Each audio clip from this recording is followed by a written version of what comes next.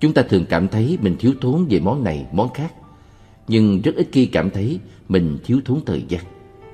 Nói một cách chính xác hơn, sự quan tâm đến tính chất hạn chế của thời gian thật ra chỉ là vì chúng ta cảm thấy không có đủ để cho chúng ta làm được điều này điều nọ. Chúng ta rất hiếm khi hoặc không bao giờ thấy tiếc nuối thời gian, chỉ vì đó là thời gian, là vốn liếng quý báu rất hạn chế mà cuộc đời ta có được. Khi ta sinh ra, điều chắc chắn duy nhất mà ta có thể biết được về tương lai của mình đó là ta sẽ chết. Dù là yếu mạng ở tuổi đôi mươi hay sống thọ đến khi trăm tuổi như mong ước của nhiều người, thì cuối cùng chúng ta đều phải chết.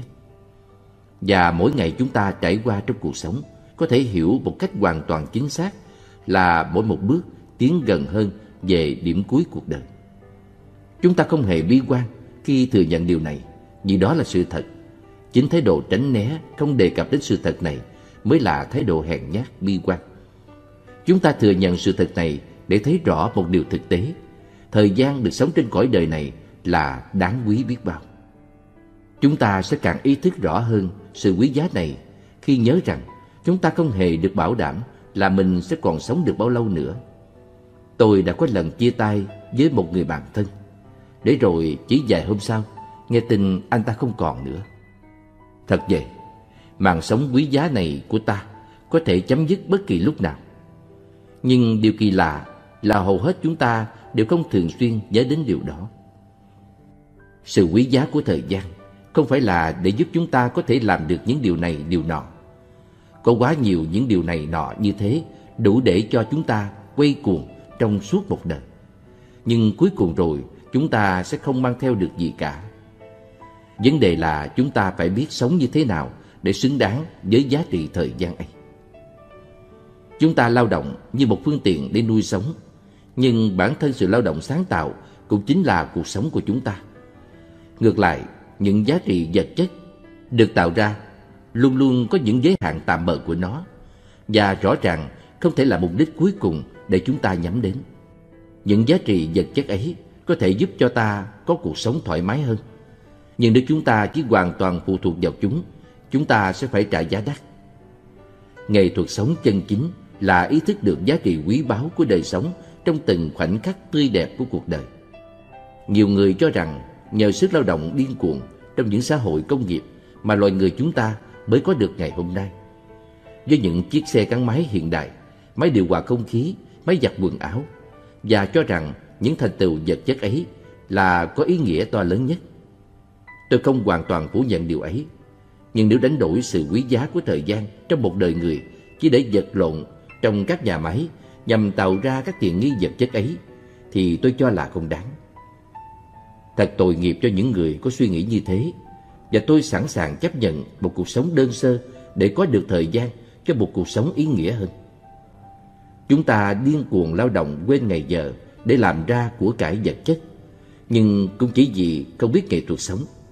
Chúng ta sẵn sàng thiêu hủy những thành tựu vật chất ấy chỉ trong chốc lát Con người sinh ra trần trụi và chết đi cũng không mang theo được gì Tất cả những giá trị chân thật mà chúng ta có thể có được luôn nằm ngay trong cách mà chúng ta sử dụng thời gian của đời mình. Chúng ta còn được bao nhiêu thời gian trong cuộc sống? Đó là một câu hỏi không ai có thể trả lời được. Có thể là 10 năm, 20 năm, có thể là một năm, có thể là vài ba tháng. Nhưng cũng có thể chỉ là trong chốc lát nữa thôi. Vấn đề này sẽ bộc lộ hoàn toàn ý nghĩa thiết thực của nó khi chúng ta thử hình dung mình mắc phải một chứng bệnh nan y nào đó ung thư chẳng hạn. Và phán quyết của bác sĩ cho chúng ta là một hoặc hai tháng nữa sẽ từ bỏ cuộc đời này. Thật kinh hoàng biết bao. Và khi ấy, chúng ta mới thấy tiếc nuối cuộc sống này biết bao. Thế nhưng một thực tế là có biết bao người không hề mắc bệnh ung thư, cũng không hề được ai dự báo trước, vẫn có thể đột ngột từ bỏ cõi đời này mà không theo một quy luật nào cả. Làm sao dám chắc rằng chúng ta lại không làm một trong số đó. Nếu chúng ta có đủ can đảm chấp nhận sự thật ấy, chúng ta mới có thể sống thật trọn vẹn những giây phút hiện đang có được trong cuộc sống tươi đẹp này. Thời gian cần phải được trân trọng trong từng khoảnh khắc. Khi chúng ta ý thức được rằng giá trị của cuộc sống nằm ở chỗ là chúng ta đang sống. Chúng ta sẽ thấy tất cả những điều khác đều trở nên nhỏ nhặt, vụn vặt, không đáng kể. Đời sống của ta quý giá và đời sống của mọi người quanh ta cũng quý giá, không thể lấy gì đánh đổi được. Mỗi buổi sáng thức dậy, chúng ta nhìn lên bầu trời trong xanh có ánh nắng ban mai ửng hồng, hoặc một chồi non vừa nhú còn ướt đẫm sương đêm. Mỗi một thực thể xinh đẹp ấy đều nhắc nhở ta biết là đời sống của ta đang tồn tại và ta tự nhủ với mình sẽ không bỏ phí một phút giây nào được tồn tại trong cuộc sống nhiệm màu này. Ta sẽ sống như thế nào để bản thân có được niềm hạnh phúc và mang niềm vui, hạnh phúc đến cho mọi người quanh mình. Cuộc sống luôn diễn ra quanh ta, nhưng rất nhiều khi ta quên đi điều ấy. Chúng ta lo toan chuyện này, chuyện khác. Chúng ta vất vả để có được món này, món nọ. Những thứ ấy không phải là không quan trọng, nhưng chúng đều là những gì thuộc về tương lai. Mà tương lai thì không thể cảm nhận được một cách cụ thể, chắc thật như giây phút hiện tại mà ta đang sống. Khi hiểu được như vậy, chúng ta vẫn làm việc không kém phần tích cực cho những mục tiêu mà mình nhắm đến. Nhưng trên cả những điều ấy là chúng ta luôn ý thức được giây phút sống hiện tại của mình. Chúng ta đào một cái hố trong vườn để đặt cây xoài con. Mục tiêu của chúng ta là tiếp tục dung bón để một ngày mai sẽ có quả xoài thơm ngọt cho chính chúng ta hoặc con cháu của chúng ta. Nhưng quả xoài hãy còn trong tương lai. Niềm vui thật sự của chúng ta không nằm ở tương lai mà là ngay trong giây phút hiện tại này. Trong từng nhát cuốc chúng ta đào, trong việc bón phân lót và đặt cây xoài con, trong việc tưới nước và che mát cho cây con. Chúng ta cần phải biết tận hưởng được niềm vui trong đó. Nếu chúng ta nghĩ đến một ngày mai, con cháu chúng ta sẽ có những quả xoài thơm ngọt để ăn, thì thật ra động lực mang lại niềm vui cho chúng ta là tình thương ta dành cho con cháu, không phải bản thân vì có được quả xoài. Khi chúng ta hiểu được như thế, thì dù nhiều năm sau đó cây xoài không sống được để có trái, và điều này hoàn toàn có khả năng xảy ra, chúng ta sẽ không đau khổ. Chúng ta đã tận hưởng niềm vui ngay trong hiện tại và không có gì phải phụ thuộc vào một kết quả trong tương lai. Chúng ta đã làm hết sức mình để có những giây phút đẹp trong đời sống và vì thế, chúng ta không có gì phải tiếc nuối hay đau khổ vì những hoàn cảnh không mong muốn. Chúng ta cũng có thể tận hưởng niềm vui cuộc sống ngay trong khi đi bộ đến trạm xe buýt hay khi đang chờ xe. Mỗi một khung cảnh mà ta được nhìn thấy quanh ta đều là những quà tặng vô giá của cuộc sống mà rất có thể ta sẽ không còn có dịp để nhìn thấy nữa. Khi tôi còn nhỏ, tôi rất mê nghe nhạc cổ điển, nhưng máy hát đĩa trong nhà là thuộc quyền sử dụng của anh tôi, vì tôi vẫn còn quá nhỏ. Anh tôi là rất ít khi nghe nhạc cổ điển, vì anh thích các ca khúc tiền chiến hơn. Như vậy là cứ mỗi dịp hiếm hoi mà anh mở đĩa nhạc cổ điển, tôi liền tập trung hết cả tâm hồn mình để chú ý lắng nghe. Vì tôi biết là sẽ rất hiếm khi để được nghe lần nữa. Những lúc như thế, tôi thấy những nốt nhạc không chỉ còn là âm nhạc, mà chúng như một dòng suối tuôn chảy niềm vui về cho tôi. Quả thật là khi nghe nhạc theo cách ấy, tôi đã tận hưởng được tất cả những nét đẹp kỳ diệu trong âm nhạc. Chúng ta cũng sẽ không phung phí thời gian để mơ mộng về tương lai hay nuối tiếc quá khứ. Từng giây phút ta đang sống trong bầu không khí trong lành quanh ta đều quý giá. Từng con người mà ta có may mắn được tiếp xúc cũng đều quý giá. Ta không thể ngồi cạnh một con người mà tâm hồn để mãi tận đâu đâu. Khi ấy, ta không cảm nhận được sự hiền hữu của người ấy, mà người ấy cũng sẽ không hề cảm thấy thật sự có ta. Niềm vui của ta chỉ có được trong một sự tiếp xúc thật lòng, mà không nằm trong những mơ mộng diễn dông. Đến những bông hoa, một cành lá. Chúng ta cũng cần phải tiếp xúc thật lòng như vậy mới có thể cảm nhận được sự hiền hữu và vẻ đẹp của chúng. Thời gian quý giá vẫn liên tục trôi qua không dừng nghỉ. Hãy sống như thế nào để thời gian trở thành một dòng sông, một dòng suối mát cuộn tràn niềm vui và hạnh phúc đến với ta trong dòng chảy không ngừng của nó. Chỉ như thế, chúng ta mới không bỏ phí đi giá trị của thời gian và mới nhận ra được hạnh phúc là một điều hoàn toàn có thể Giá trị của nụ cười Một trong những giá trị chung nhất của nhân loại ở khắp nơi trên toàn thế giới có lẽ là nụ cười. Tôi và anh có thể không cùng ngôn ngữ, nên tôi không sao hiểu được những gì anh đang nói. Nhưng tôi sẽ dễ dàng hiểu được tâm trạng của anh khi nhìn thấy anh cười. Từ cổ chí kim, từ đông sang tây, con người ở đâu đâu cũng có chung một cách mỉm cười. Nụ cười biểu lộ niềm vui, và niềm vui là dấu hiệu tồn tại tích cực của cuộc sống. Chúng ta chỉ thật sự sống vui khi chúng ta còn giữ được nụ cười. Chúng ta thường nghĩ rằng khi ta vui, ta sẽ mỉm cười. Điều đó thật ra cũng đúng, nhưng là một quá trình không tích cực. Chúng ta nên nghĩ điều ngược lại, rằng khi ta mỉm cười, ta sẽ có được niềm vui.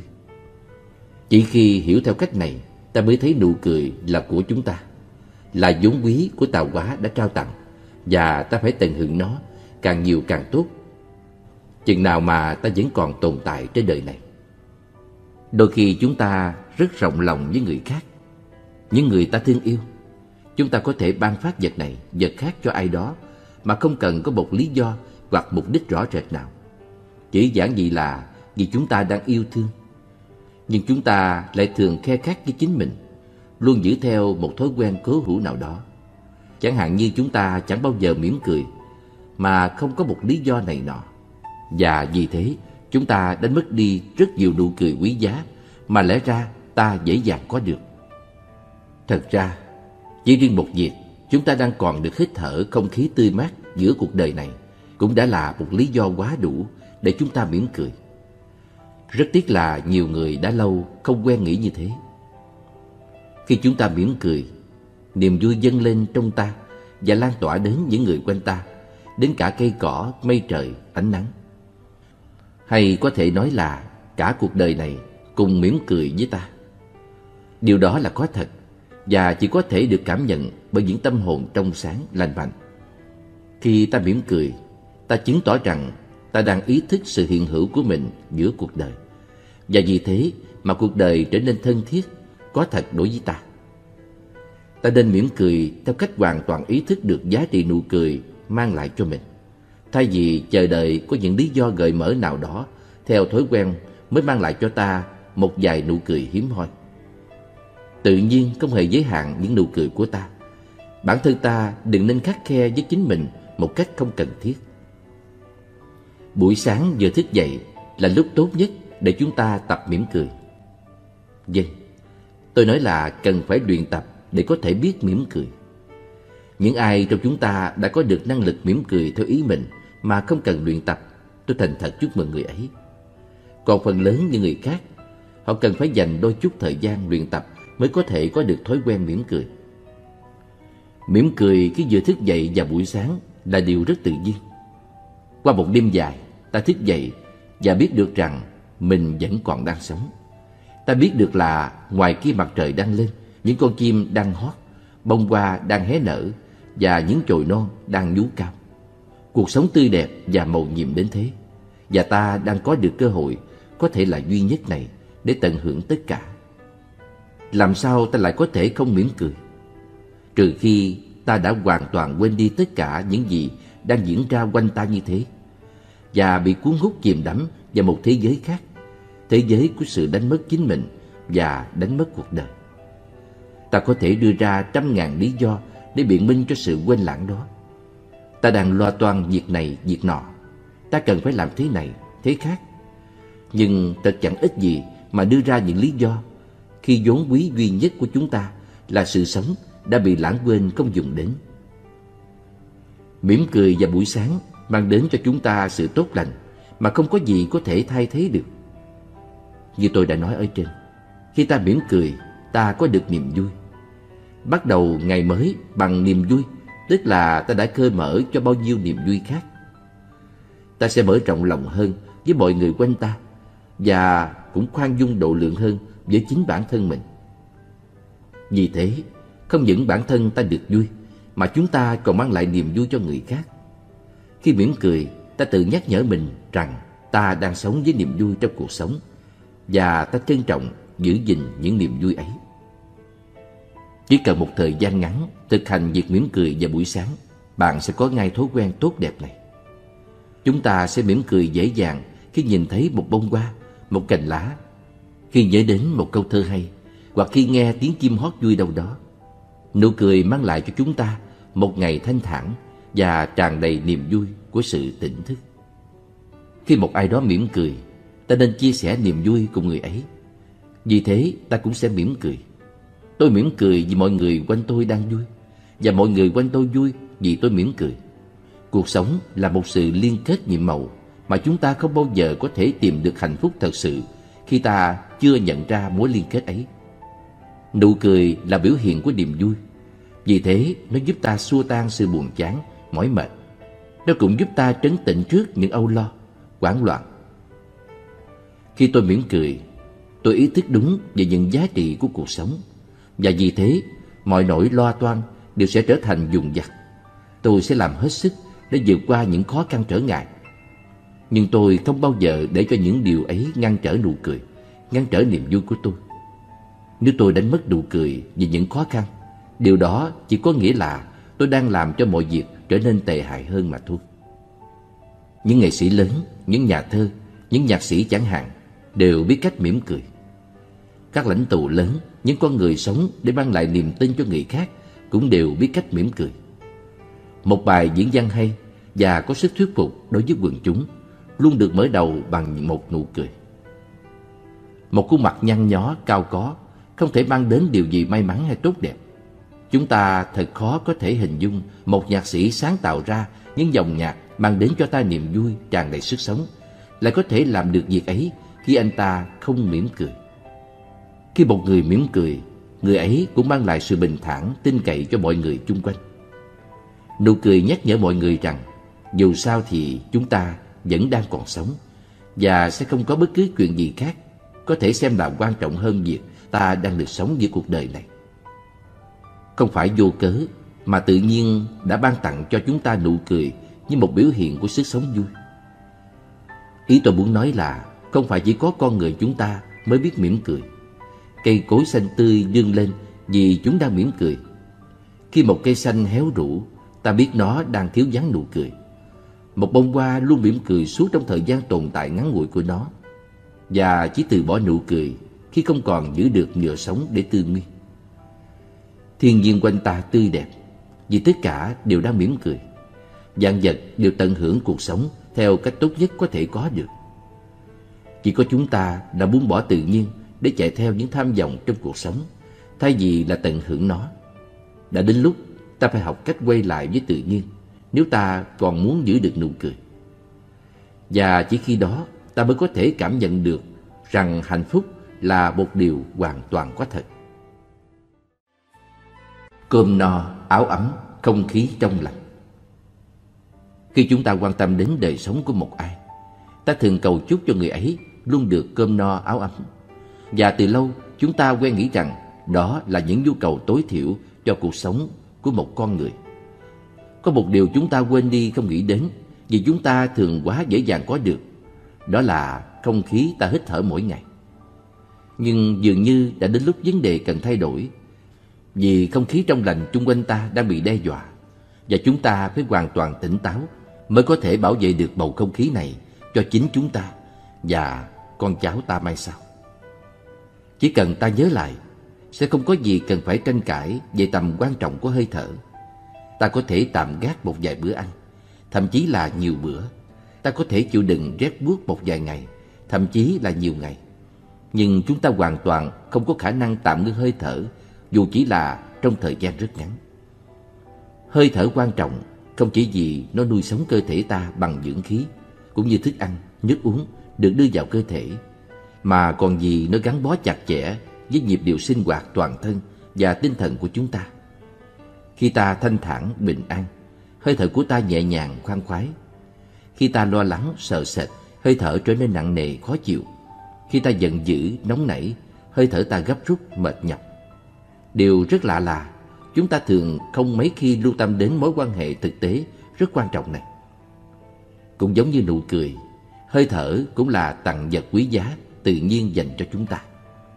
Vì thế, hơi thở là của ta và ta cần quan tâm đúng mức đến nó như đã từng quan tâm đến cơm ăn, áo mặc mỗi ngày. Khi chúng ta chú ý đến hơi thở, chúng ta sẽ thấy rằng qua hơi thở ta có thể giữ được tâm trạng bình thản của mình.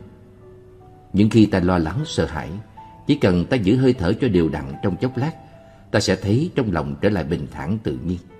Những khi nóng giận tức tối, chỉ cần giữ hơi thở cho thanh thản, bình thường, trong chốc lát, ta sẽ lấy lại được sự an ổn trong lòng.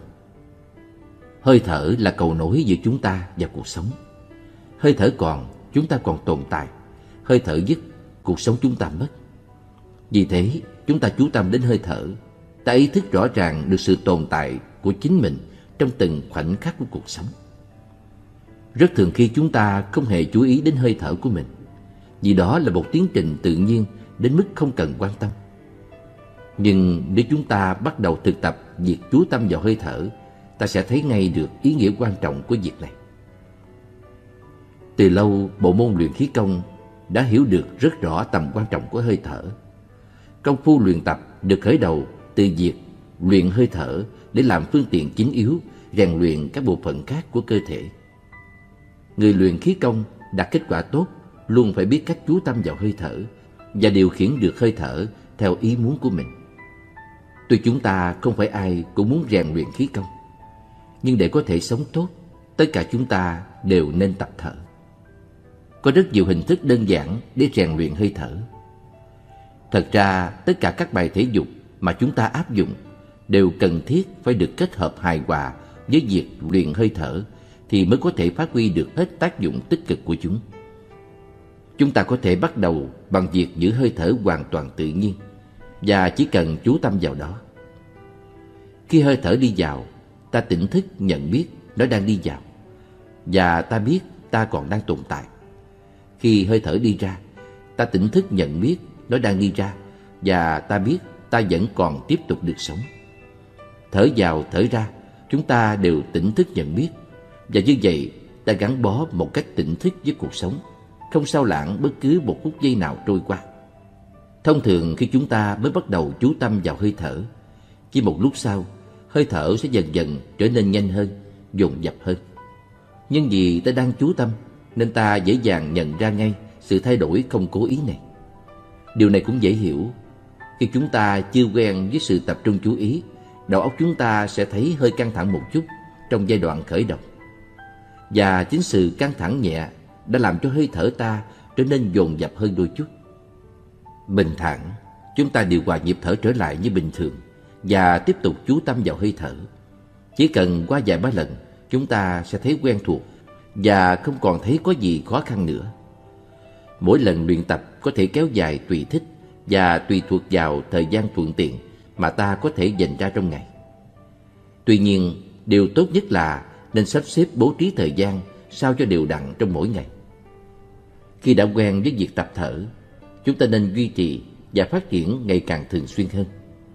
Chúng ta sẽ bắt đầu có thể tập thở trong khi đi đường, lái xe hoặc ngồi trên xe buýt. Chúng ta cũng có thể tập thở cho những quãng nghỉ giữa giờ trong ngày lao động hoặc những lúc tạm dừng công việc. Mỗi lần tập thở là ta tự nhắc nhở mình và quay về được với đời sống thực tiễn trong hiện tại. Lâu dần, hơi thở ta sẽ trở nên nhẹ nhàng, hiền hòa và tâm hồn ta cũng theo đó trở nên ngày càng thanh thản êm dịu hơn. Ta cũng nên dành một ít thời gian cho việc luyện tập thở sâu. Điều này là cần thiết vì nó giúp làm tăng thêm dung tích buồng phổi của chúng ta, nhất là với các bạn trẻ còn đang ở độ tuổi phát triển. Thông thường chúng ta rất ít khi thở đầy buồng phổi của mình và kéo dài qua nhiều ngày như vậy. Ta tự tạo cho mình một thói quen cảm thấy rất khó thở thật sâu. Mỗi ngày nếu chúng ta dành ra ít phút để luyện tập thở sâu, ta sẽ khôi phục lại được khả năng hoạt động tốt hơn của buồng phổi và điều đó rất có lợi cho sức khỏe. Khi chúng ta có luyện tập hơi thở, mỗi việc làm của chúng ta sẽ dần dần tự nhiên gắn bó với nhịp điệu hơi thở. Người có luyện tập hơi thở khi làm bất cứ việc gì cũng đều có sự nhịp nhàng và có sức chịu đựng bền bỉ hơn. Các vận động viên thể thao đều luôn biết cách phải kết hợp hơi thở như thế nào trong khi luyện tập cũng như thi đấu. Sự chú ý vào hơi thở cũng giúp chúng ta gắn liền tâm ý với mọi hoạt động của cơ thể. Chúng ta không bị cuốn hút vào sự sao lãng mà luôn luôn tỉnh táo, nhận thức rõ từng giây phút trôi qua trong cuộc sống. Môi trường quanh ta cũng là điều quan trọng trong việc thực hành luyện tập hơi thở. Nếu bạn sống ở miền quê, bạn có cơ may được hít thở không khí trong lành nhiều hơn. Tôi nói nhiều hơn vì ngay cả miền quê giờ đây cũng đã có ít nhiều ô nhiễm. Người ta phun thuốc trừ sâu và nhiều hóa chất khác bừa bãi khắp nơi. Các trại chăn nuôi không đảm bảo điều kiện vệ sinh môi trường và một số nhà máy cũng đang dần mọc lên ở các vùng quê. Có vẻ như có người giờ đây thật khó mà tìm được một nơi có không khí hoàn toàn trong lành. Còn đối với cư dân thành phố, việc hít thở không khí trong lành giờ đây đã trở thành một điều gần như là thuộc về sự hưởng thụ xa xỉ. Bởi vì bạn phải lái xe hàng trăm cây số mới có thể làm được điều đó. Còn thứ không khí bình thường mà mọi người chen nhau hít thở hàng ngày là thứ không khí mà chỉ những phòng thí nghiệm khá tối tân may ra mới có thể cho chúng ta biết rõ được, trong đó có những gì. Đã đến lúc các nhà quản lý môi trường và cả bản thân mỗi chúng ta nữa, cần phải làm một điều gì đó để cứu vãn tình thế. Để con cháu chúng ta còn có cơ may được sống trong những thành phố có đủ không khí trong lành. Và có lẽ để nhắc nhở cho nhau về điều này, chúng ta cũng nên thay đổi lời chúc tụng vẫn dành cho nhau từ xưa tới nay. Hãy nói, mong sao cho gia đình bạn luôn có được cơm no, áo ấm và không khí trong lành.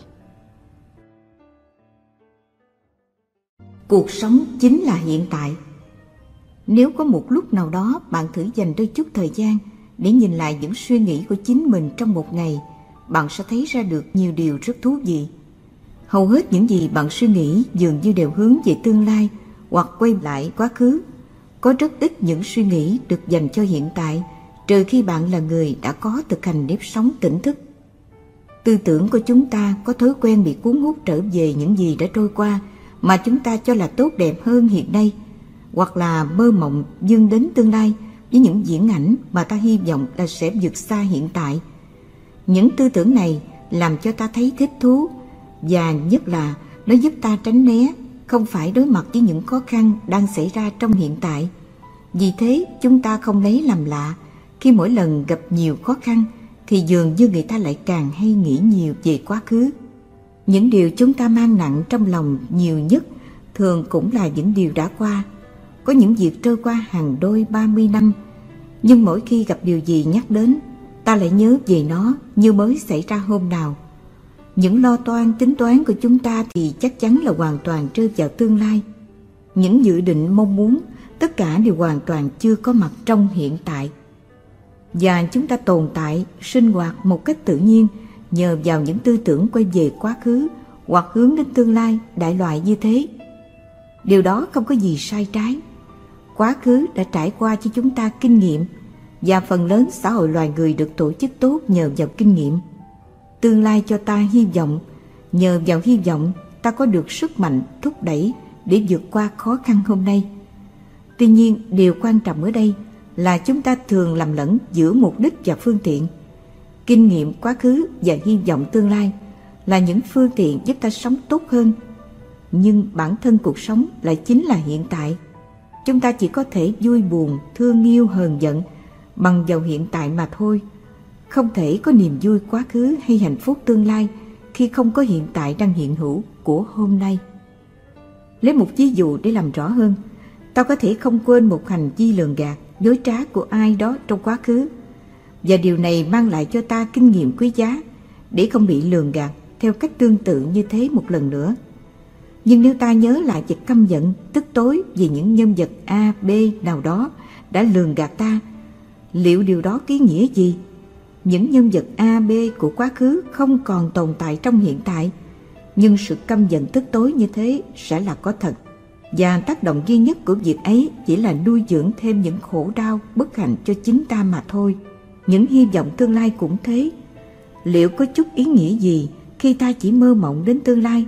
Mà không có những hành động thiết thực, đúng đắn ngay trong hiện tại này điều mà chúng ta cần nhận thức rõ ở đây là cuộc sống chính là hiện tại chỉ trong hiện tại, ta mới có thể tìm được niềm vui, hạnh phúc, mới tận hưởng được giá trị thiêng liêng mà cuộc sống mầu nhiệm ban tặng cho mỗi chúng ta.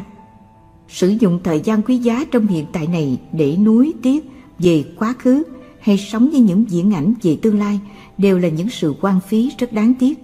Chúng ta không làm gì được với quá khứ, và chúng ta cũng không có khả năng nắm chắc được tương lai.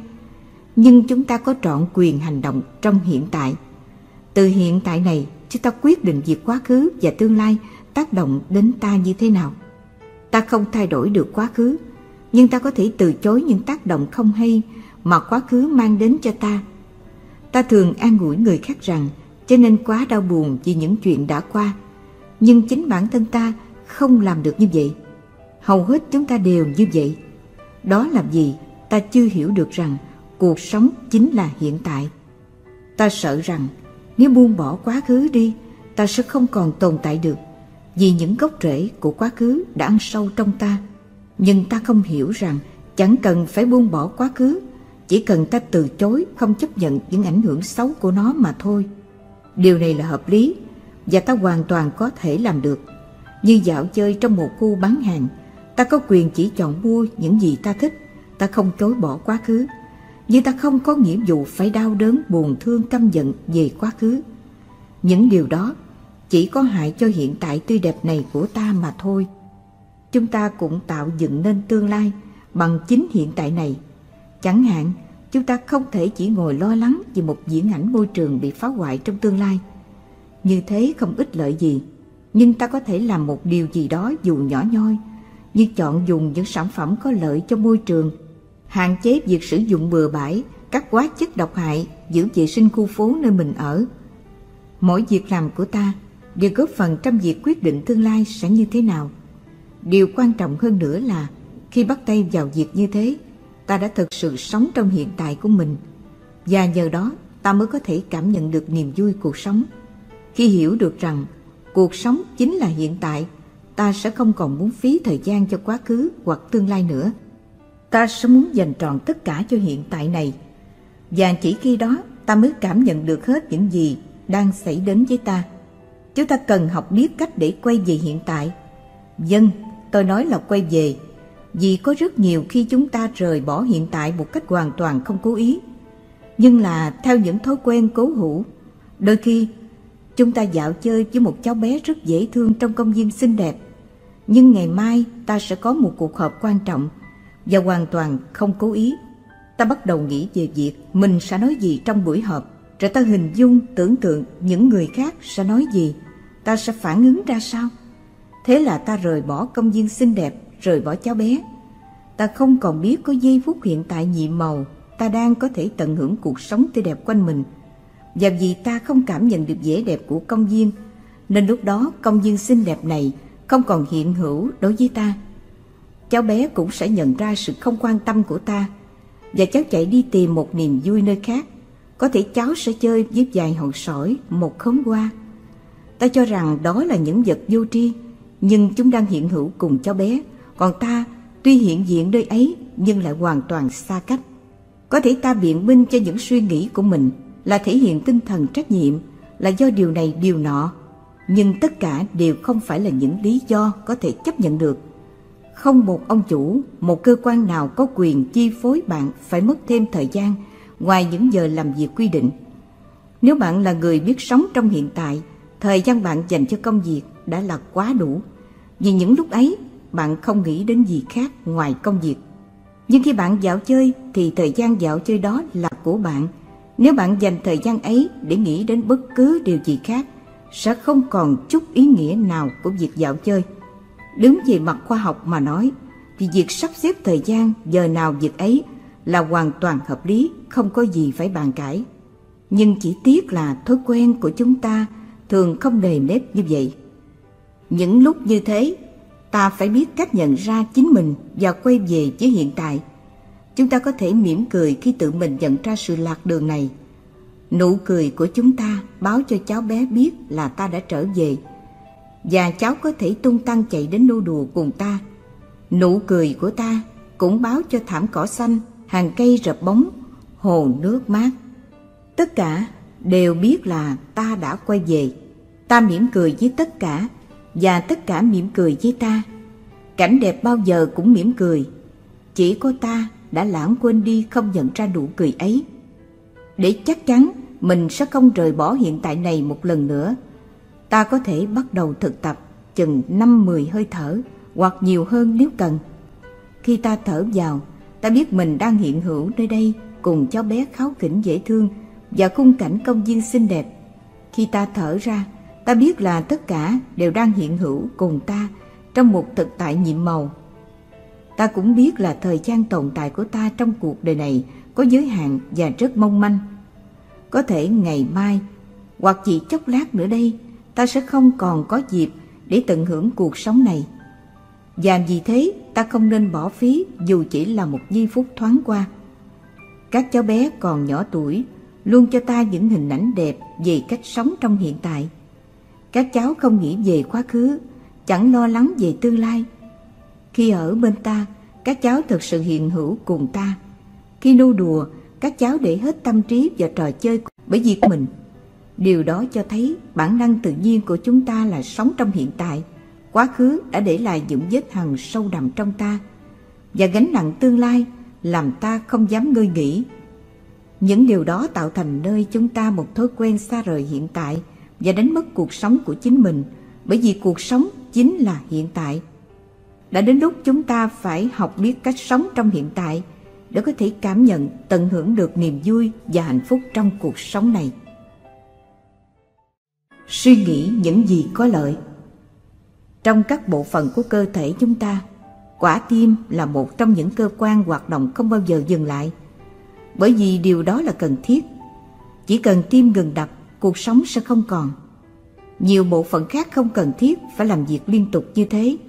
Chúng được phép nghỉ ngơi và thường là chúng đòi hỏi được nghỉ ngơi khi mệt mỏi.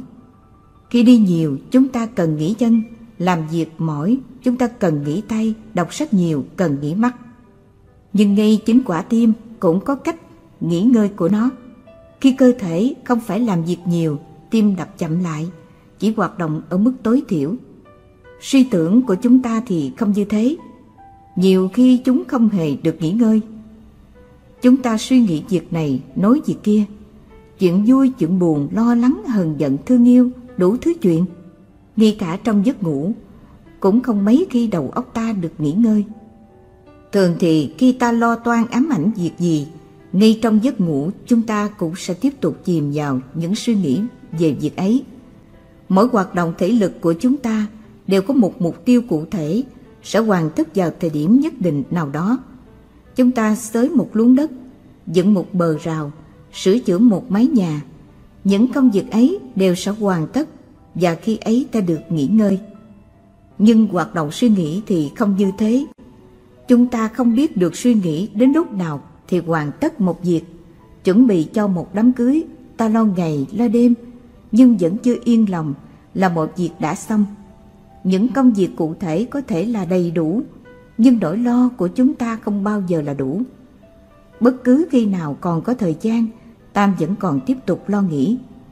Mặt khác, khi ta lao động thể lực càng mệt nhọc, ta càng ăn uống được nhiều hơn, ngủ ngon hơn và nhờ đó cơ thể được bù đắp lại năng lượng đã mất đi. Ngược lại, khi lo nghĩ nhiều hoặc làm việc đầu óc căng thẳng, ta càng ăn không ngon, ngủ không yên, điều này càng làm tăng thêm sự mệt mỏi.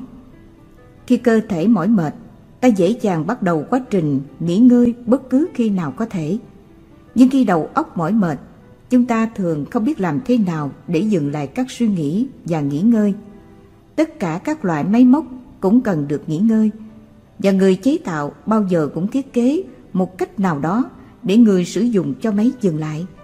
Đầu óc ta không có những phương cách cụ thể như vậy để cho dừng lại.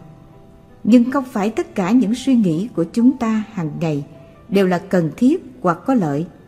Rất nhiều trong số những suy nghĩ này là vô ích và chỉ được gợi lên theo thói quen hoặc sự liên tưởng. Nếu chúng ta biết chọn lựa, chúng ta có thể cắt bỏ đi rất nhiều suy nghĩ như thế để đầu óc ta được thảnh thơi hơn. Và sự chọn lựa như vậy là hoàn toàn có thể thực hiện được nếu chúng ta biết luyện tập và áp dụng một số phương pháp thích hợp. Một trong những phương pháp đơn giản mà hữu hiệu nhất để dừng lại dòng suy nghĩ của chúng ta là chú tâm vào hơi thở. Khi chú tâm vào hơi thở, chúng ta quay trở về với hiện tại, ý thức được sự hiện hữu của mình trong thực tại nhiệm màu và cắt bỏ được dòng suy nghĩ mông lung không cần thiết. Ta cũng có thể mỉm cười trong ý thức tỉnh táo về nụ cười để nhắc nhở chính mình về sự quý giá của thời gian đang trôi qua và những giá trị thực tại đang hiển bày của cuộc sống. Khi ấy, ta có thể hoàn toàn cảm nhận được một bông hoa, một cành lá, một án mây trôi, hay bất cứ vẻ đẹp tự nhiên đơn sơ nào đó đang hiện hữu. Sống trong hiện tại như thế, ta dễ dàng dừng lại được những suy nghĩ không cần thiết. Chúng ta nên tránh thói quen dùng thuốc ngủ vào những khi đầu óc quá căng thẳng không ngủ được.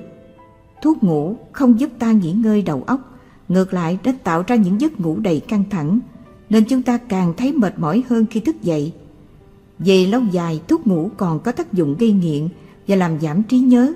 Thay vì dùng thuốc ngủ, những lúc ấy chúng ta hãy thực tập chú tâm vào hơi thở và giữ cho hơi thở thật điều hòa thư thái. Khi dòng tư tưởng được cắt đi và chúng ta quay về giới hiện tại, sự căng thẳng giảm dần và giấc ngủ bình thường sẽ đến với ta. Nếu chúng ta thực tập cắt bỏ những suy nghĩ lan man vô ích, chúng ta sẽ luyện được cho mình thói quen chỉ suy nghĩ những gì có lợi. Có lợi ở đây nghĩa là có thể mang lại niềm vui, hạnh phúc cho bản thân ta và cho mọi người. Sự phân loại như thế sẽ bao gồm những suy nghĩ thật sự cần thiết cho công việc, cho việc hoàn thiện bản thân, giúp đỡ người khác. Nhưng chúng ta cũng cần thực tập cảm việc phân bố thời gian cho những suy nghĩ như thế. Nghĩa là không để chúng len lỏi vào bất cứ thời gian nào trong ngày của ta. Khi ta đã quyết định nghỉ ngơi, thì ngay cả những suy nghĩ như thế cũng không cần đến, bởi vì chúng sẽ lôi cuốn chúng ta rời khỏi hiện tại và đánh mất cuộc sống. Suy xét về ý nghĩa, cuộc sống chính là hiện tại, cũng sẽ giúp ta loại bỏ được những suy nghĩ lạc đường. Hầu hết những suy nghĩ của chúng ta luôn quay về quá khứ hoặc hướng đến tương lai – và ý thức đầy đủ về sự sống trong hiện tại sẽ giúp ta buông bỏ dễ dàng những suy nghĩ ấy. Hoạt động đầu óc làm chúng ta mệt mỏi, đôi khi còn hơn cả các hoạt động thể lực. Biết suy xét và chọn lọc cùng với sự thực hành luyện tập trong một thời gian, chúng ta sẽ có được một đầu óc thảnh thơi và sáng suốt hơn nhiều. Đó cũng là nền tảng để đạt được niềm vui và hạnh phúc chân thật trong cuộc sống chọn lọc môi trường sống. Chúng ta không tồn tại một cách độc lập, cá biệt, mà bao giờ cũng tồn tại trong một môi trường nhất định. Tôi muốn nói đến tất cả những gì bao quanh ta, các điều kiện vật chất lẫn tinh thần mà chúng ta thường xuyên tiếp xúc. Những thứ ấy tác động tích cực hoặc tiêu cực đến chúng ta. Phần lớn là tùy thuộc vào phương thức mà ta nhận hiểu, chọn lọc và tiếp xúc với chúng để có được một tâm hồn yên tĩnh, để ta thường tìm đến một nơi yên tĩnh. Điều đó cũng đúng thôi, và trong một số trường hợp cũng mang lại hiệu quả.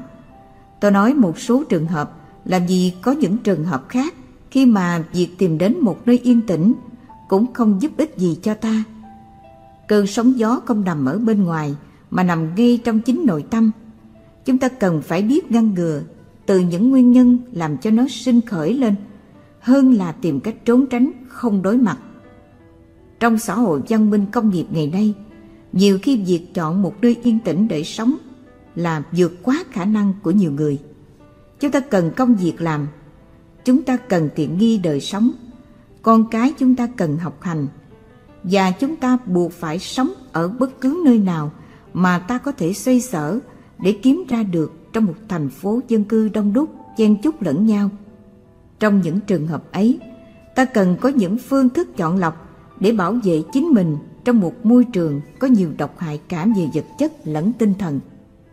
Khi chúng ta tiếp xúc với môi trường sống, các giác quan của ta mở ra như những cánh cửa sổ mở ra của một căn phòng. Căn phòng cần có cửa sổ, để qua đó ta có thể đón được ánh sáng, những cơn gió mát, nắng ngắm ban mai hoặc hương thơm qua cỏ trong giường nhưng có những lúc ngoài trời giông gió, mưa bão, ta cần phải kịp thời đóng các cửa sổ lại. Nếu không, mọi thứ trong phòng sẽ bị gió lùa vào, thổi tung lên hoặc nước mưa lạnh sẽ tạt vào phòng. Các giác quan của ta cũng vậy, cũng có những lúc cần được đóng lại để bảo vệ tâm hồn ta khỏi những cơn gió độc từ bên ngoài. Tôi đã tiếp xúc với nhiều người và thấy là họ không biết đóng các cửa sổ lại khi cần thiết Đôi khi, vài ba người trò chuyện với nhau trong tiếng nhạc ầm ĩ và thay vì tắt máy đi, họ lại cố nói to hơn để có thể nghe rõ nhau. Tôi không sao hiểu nổi họ thưởng thức được gì để âm nhạc trong những trường hợp như thế. Rất nhiều khi chúng ta thấy cô đơn buồn bã và thay vì tìm hiểu nguyên nhân vấn đề, chúng ta lại tìm đến một nơi ồn ào náo nhiệt nào đó để giải buồn. Những khi ấy, thường thì sau đó ta lại càng cảm thấy cô đơn buồn bã hơn. Khi có một nhóm người gặp nhau và trò chuyện, họ nói bất cứ chuyện gì thuận tiện, những câu chuyện ồn ào không nhắm đến mục đích nào cụ thể, hoặc phê phán chỉ trích người này người nọ.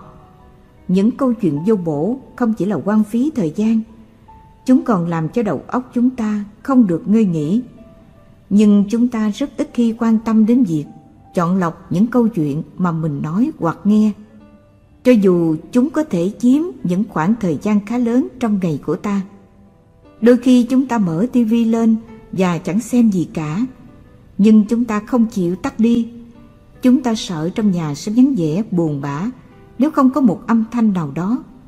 Các chương trình TV được phát sóng cho hàng triệu người xem, không phải riêng mình ta. Khi thấy thích hợp, chúng ta xem. Khi không thích hợp, hãy tắt máy đi. Không phải tất cả phim ảnh được trình chiếu đều thích hợp với chúng ta hoặc gia đình ta. Chúng ta hoàn toàn có quyền chọn lọc và cần phải biết chọn lọc. Nếu chúng ta nhớ lại rằng thời gian là vốn quý như thế nào, chúng ta sẽ không phí những giây phút vô vị trước màn ảnh tivi khi thật sự không có hứng thú để xem những gì trên đó. Chúng ta có những khả năng lựa chọn khác giúp ích nhiều hơn cho tâm hồn. Đọc một vài chương sách về chủ đề mình cần học hỏi, nghe một khúc nhạc mình thật sự yêu thích, hoặc đơn giản hơn chỉ cần ngồi yên và tập thở. Cuộc sống thường ngày của chúng ta sôi động quá, đầy những âm thanh náo nhiệt ồn ào và những hoạt động diễn ra xôn xao căng thẳng, quay cuồng trong một môi trường như thế quá lâu, ta dễ cảm thấy sợ sệt, trống vắng khi ngồi yên để tập thở. Thật ra, chỉ cần ngồi im và chú tâm vào hơi thở, ta có thể dừng lắng lại những sôi động trong tâm tưởng và nhận thức rõ được sự tồn tại đầy ý nghĩa của mình trong hiện tại. Khi chúng ta tỉnh táo nhận thức được sự tồn tại của mình trong từng giây phút hiện tại, ta dễ dàng nhận ra được những gì có lợi và những gì độc hại trong môi trường chung quanh.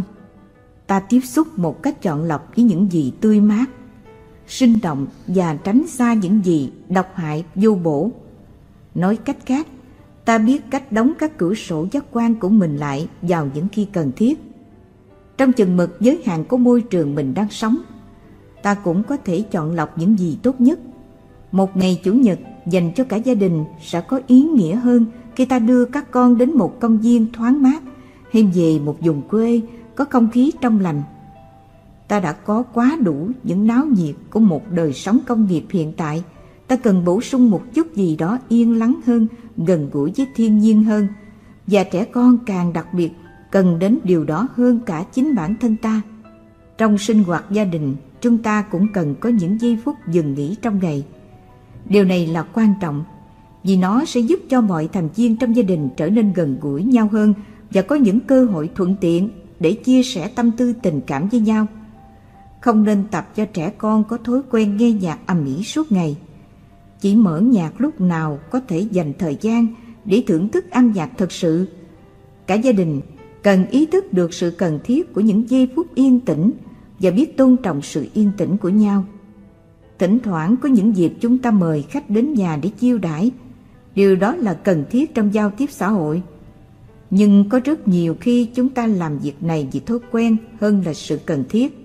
Chúng ta nên biết rằng, nếu vượt quá giới hạn của sự cần thiết, thì những việc như thế sẽ làm tổn hại đến sinh hoạt gia đình và thường thì, ta rất khó lòng kiểm soát được những phiền toái nào đó có thể xảy ra trong và sau một bữa tiệc. Việc nói chuyện điện thoại cũng là một trong những điều kiện tiếp xúc với môi trường mà đôi khi chúng ta không quan tâm đến. Chúng ta có thói quen hối hả, lao đến, nhấc ống nghe như thể sợ rằng sẽ không kịp đón nhận một tin quan trọng nào đó. Làm như vậy, chúng ta tự tạo ra cho mình một sự căng thẳng không cần thiết. Và nếu ta đang dùng cơm hoặc trò chuyện với mọi người khác trong gia đình, sự căng thẳng ấy sẽ lan sang tất cả những thành viên khác. Nếu nghĩ lại một chút, ta sẽ thấy rõ sự vô lý của mình.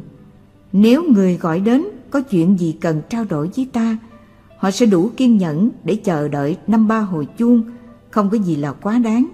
Hãy bình thản khi nghe chuông điện thoại, chậm rãi nhấc ống nghe. Với tâm trạng đó, chắc chắn ta sẽ sáng suốt hơn khi trao đổi một chuyện gì đó qua điện thoại. Và nếu đủ điều kiện, ta nên lắp một máy điện thoại có chức năng tự trả lời. Trong trường hợp đó, ta có thể chọn nghe hoặc không nghe vào từng thời điểm. Không gì bực dọc hơn cho những người khác trong gia đình khi đang bữa cơm, ta phải bỏ đi nghe điện thoại. Và nếu cuộc điện đàm kéo dài chừng 5-10 phút, sự bực dọc sẽ càng tăng thêm. Chúng ta có thể chọn giải pháp không nhận điện thoại vào lúc đó. Nếu làm việc quan trọng, sau giờ ăn ta sẽ gọi lại cho người kia. Nếu chỉ là một chuyện tán đổ bình thường, ta có thể bỏ qua. Chỉ một thay đổi nhỏ này, cuộc sống trong gia đình ta sẽ yên tĩnh hơn và mọi người được gần gũi nhau hơn. Chúng ta cũng nên hạn chế việc gọi cho người khác khi không có gì quan trọng. Bên kia đầu dây, ta thường không thể biết được người ấy đang làm gì và có thuận tiện để tiếp chuyện cùng chúng ta hay không. Ngoài ra, những cuộc nói chuyện như thế thường chỉ xảy ra khi ta không biết làm gì khác. Điều này càng làm cho môi trường sống của ta thêm căng thẳng vì ta đã đánh mất đi chút thời gian có thể dành để sống yên tĩnh hơn. Ta có thể dành thời gian ấy cho những hoạt động hữu ích hoặc thậm chí không làm gì cả mà chỉ ngồi yên và chú tâm vào hơi thở.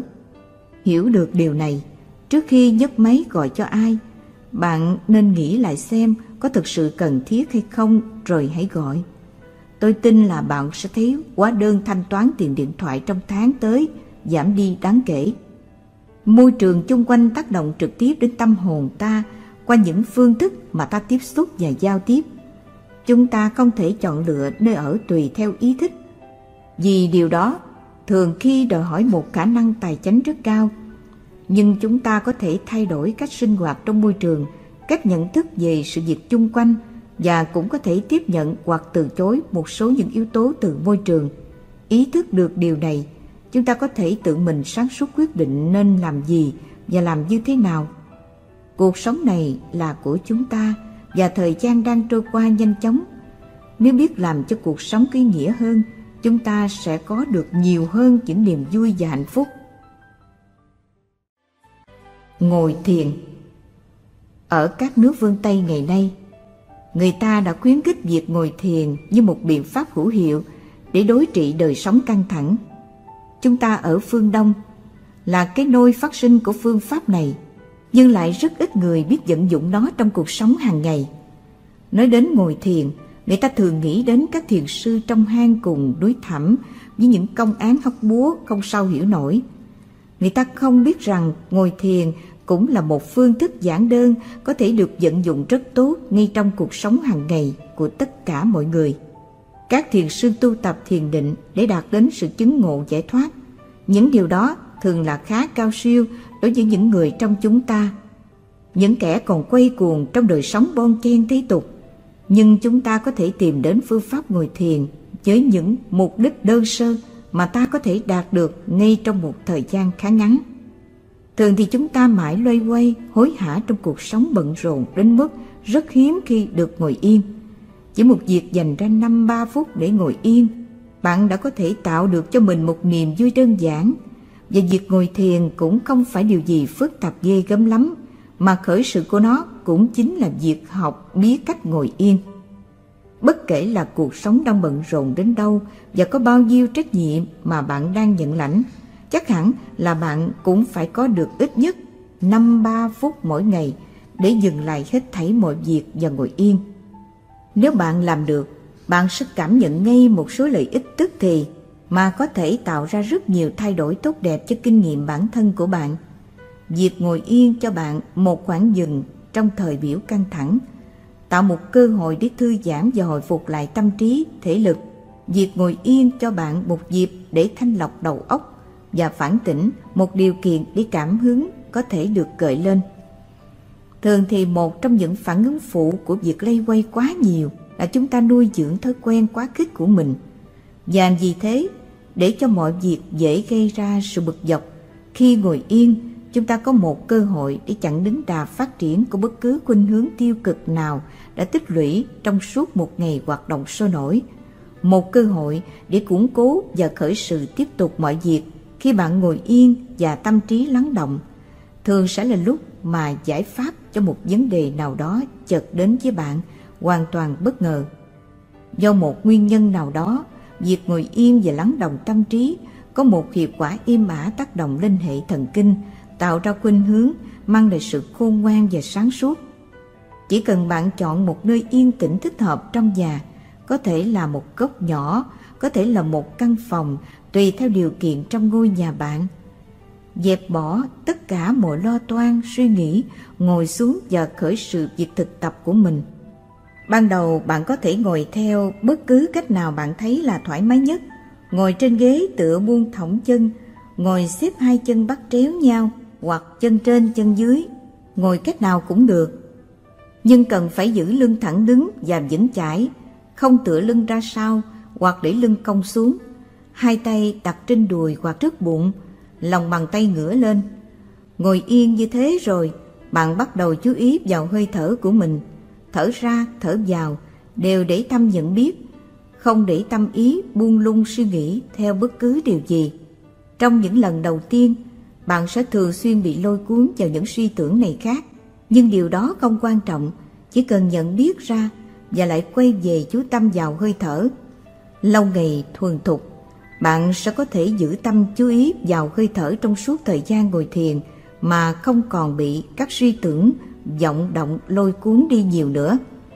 Mục đích của việc ngồi thiền hàng ngày không nhắm đến một kết quả sâu xa quyền bí nào, mà là một phương thức thiết thực để giúp bạn dừng lại dòng suy nghĩ rất thường là quá tải sau một ngày làm việc. Khi bạn đã quen thuộc với những giây phút định tâm yên lắng này, tự bản thân bạn sẽ cảm nhận được những lợi ích sâu xa của nó. Thiền cũng có thể được vận dụng vào môi trường sống hàng ngày để giúp chúng ta tỉnh thức hơn trong cuộc sống. Bất cứ khi nào có thời gian, bạn có thể dừng lại đôi ba phút và chú tâm vào hơi thở, nhận thức rõ sự tồn tại của mình và mọi việc diễn ra chung quanh. Nếu sống tỉnh thức như thế chính là thiền và bạn có thể thực tập nó bất cứ khi nào có thể.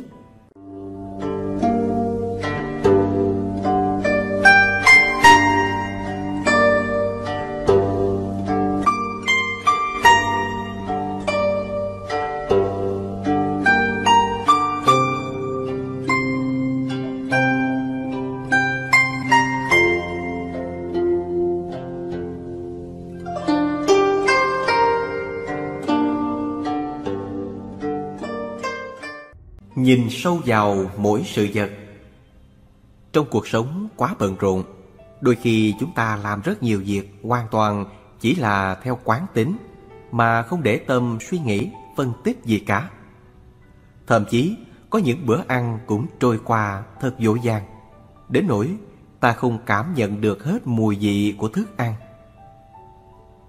Khi tôi còn nhỏ, tôi đã rất lấy làm buồn cười khi đọc truyện Tây Du Ký. Đến đoạn Trư Bát Giới ăn nhân sâm cùng với Tôn Ngộ Không. Anh chàng háo ăn này đã ăn nhanh đến nỗi vừa ăn xong mà không biết được mùi vị của nhân sâm như thế nào.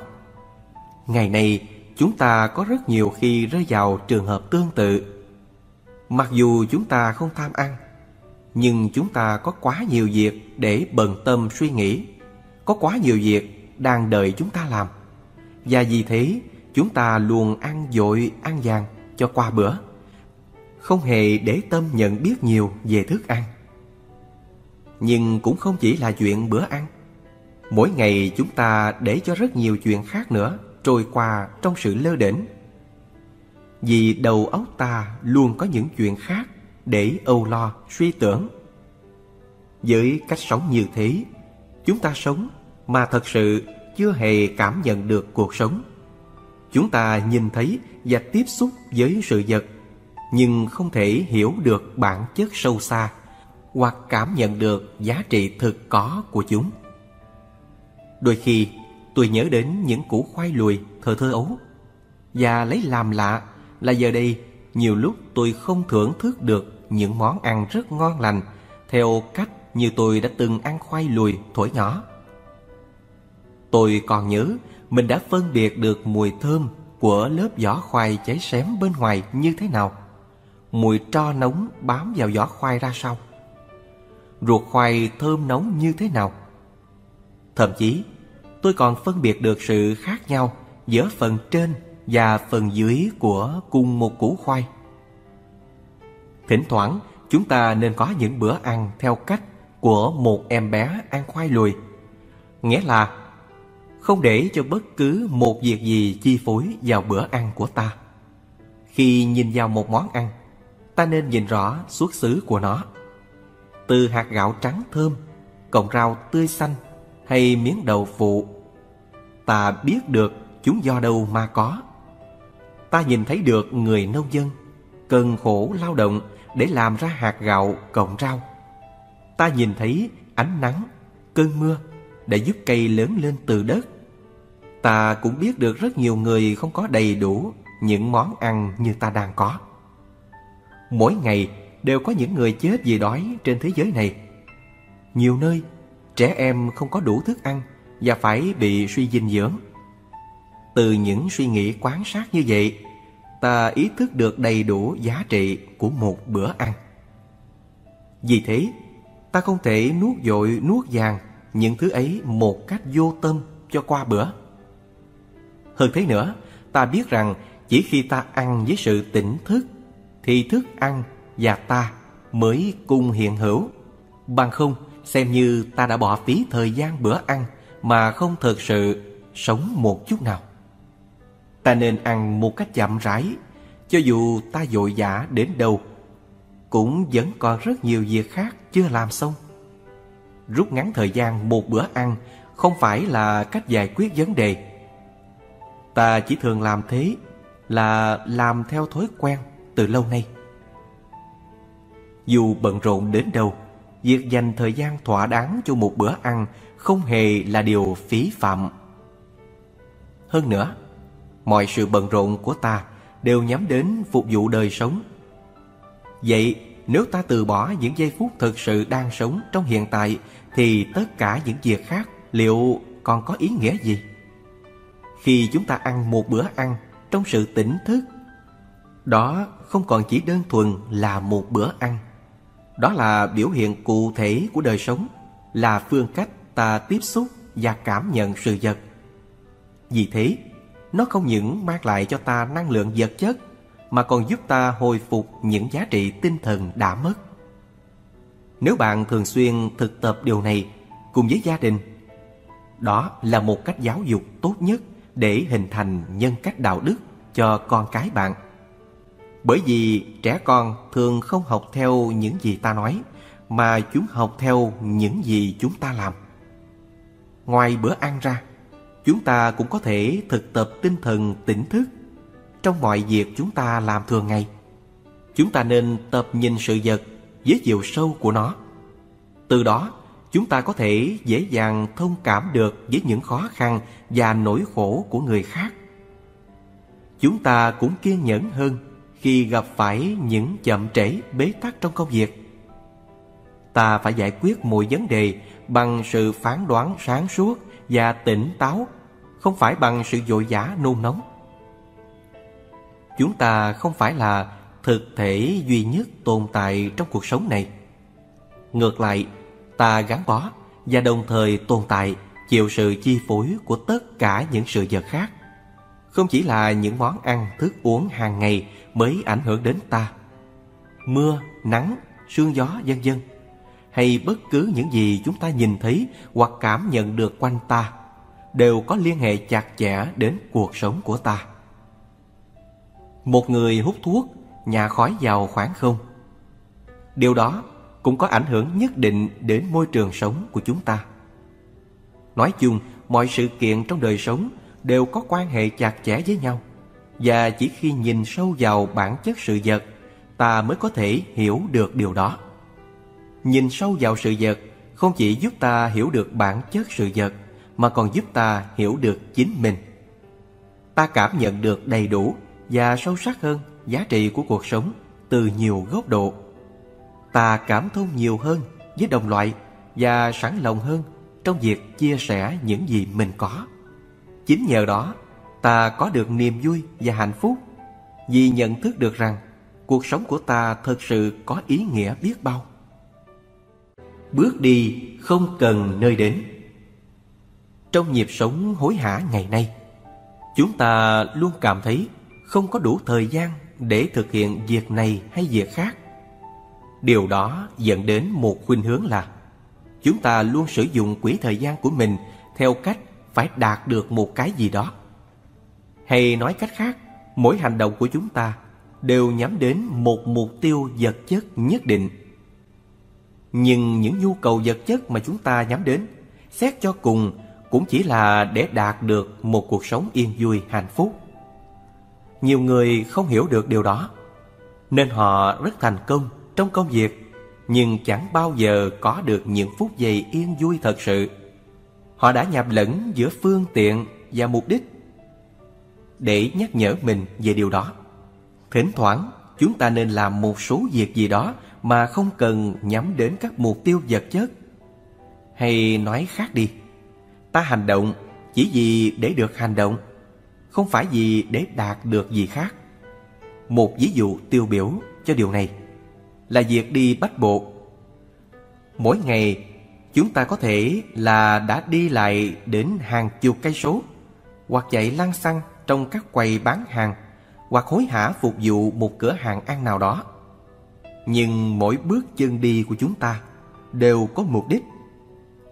Ta không có thời gian rỗi rảnh để thưởng thức niềm vui được bước chân đi trên mặt đất này. Nên với ta, điều đó nghe ra có thể là hoàn toàn xa lạ. Việc đi bách bộ thì khác hẳn. Ta có thể dành khoảng 10 hay 15 phút vào buổi sáng hoặc buổi chiều để bước chân đi mà không cần nghĩ về nơi đến. Ta chọn một lối mòn quanh nhà hay một đoạn đường vắng vẻ. Ở đầu càng yên tĩnh và thoáng mát càng tốt. Ta bước đi chậm rãi vì ta không nôn nóng để đến nơi đâu cả.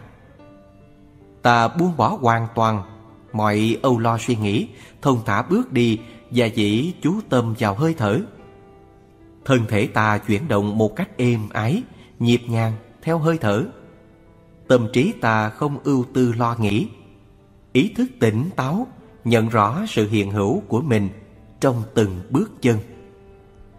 Ta có thể đi chân trần, để bàn chân tiếp xúc dịu dàng với mặt đất ấm áp. Như thế, ta càng cảm nhận được rõ hơn sự gần gũi hòa hợp với thiên nhiên. Với nhiều người sống trong thành phố, cảm giác đi chân trần trên một con đường đất đôi khi là hiếm có hoặc chưa từng trải qua.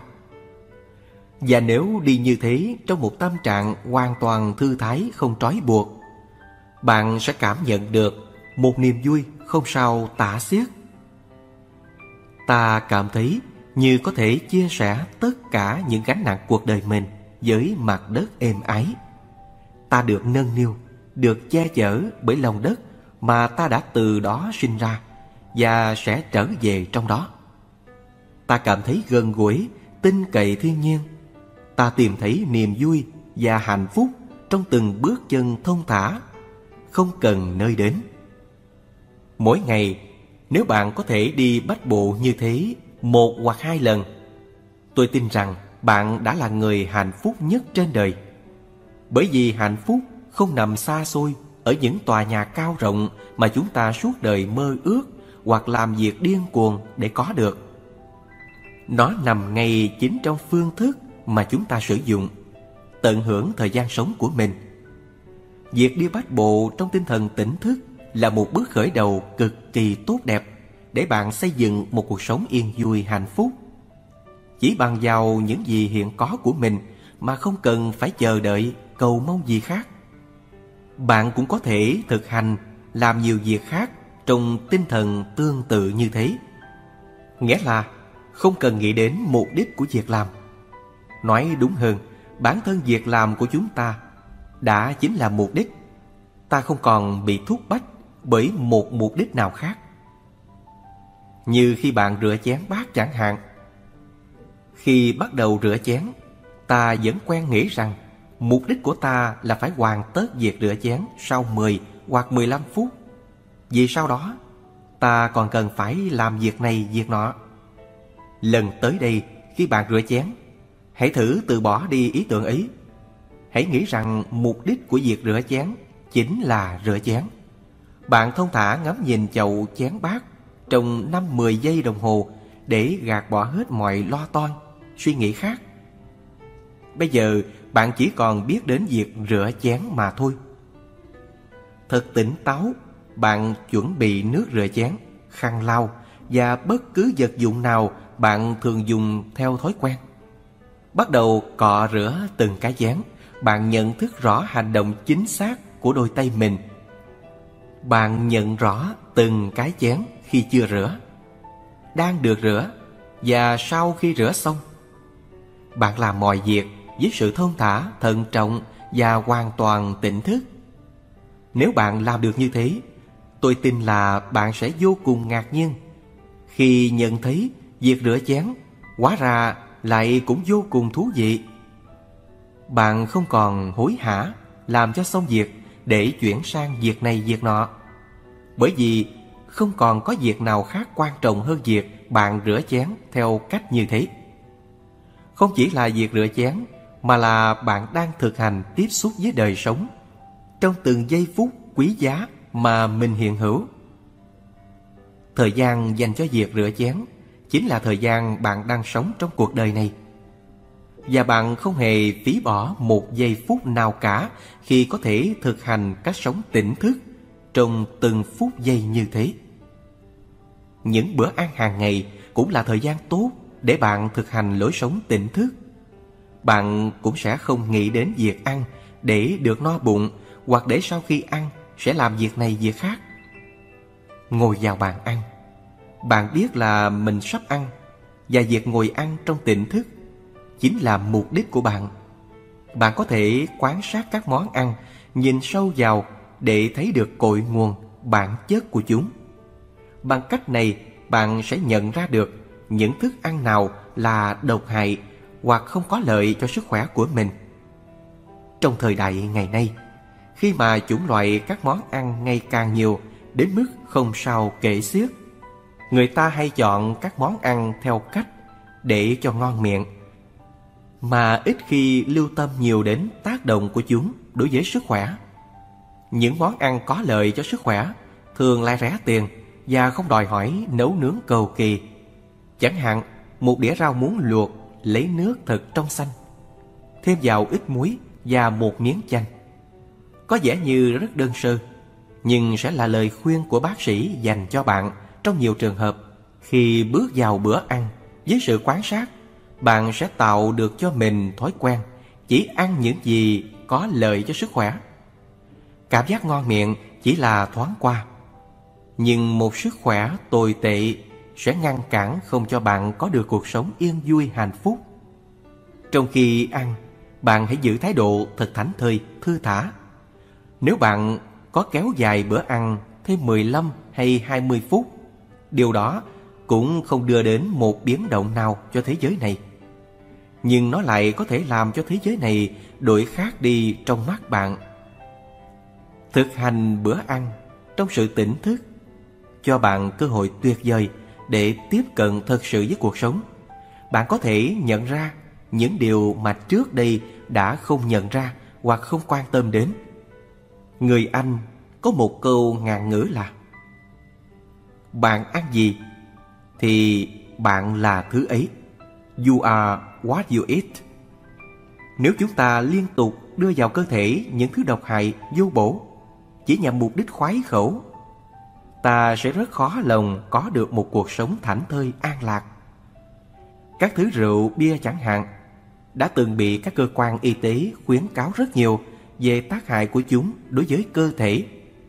Nhưng mỗi ngày, người ta vẫn sản xuất và tiêu thụ một lượng rượu bia nhiều đến chóng mặt. Đó là gì? không có nhiều người thực tập ăn uống trong sự tỉnh thức. Con người từ lâu đã tập thành thói quen giết hại súc vật để làm thức ăn cho mình. Thịt động vật làm tăng nguy cơ mắc các chứng ung thư, cao huyết áp, sơ vữa động mạch, vân vân. Đều là những thông tin chính thức đã được các cơ quan y tế xác nhận. Người phương Tây ngày nay chuyển sang ăn chay rất nhiều mà không chỉ vì lý do tín ngưỡng. Họ nhận ra đó là một chế độ ăn tốt hơn cho sức khỏe vì nó giúp hạn chế bệnh tật. Nếu chúng ta biết tỉnh táo nhận ra điều này, có thể khẩu phần ăn của chúng ta sẽ sớm thay đổi theo hướng tích cực hơn. Chúng ta cũng có thể chờ xe buýt, đi bộ đến sở làm, nấu ăn, lau dọn nhà cửa trong sự tỉnh thức. Mỗi giây phút sống của ta sẽ trở nên có ý nghĩa hơn rất nhiều.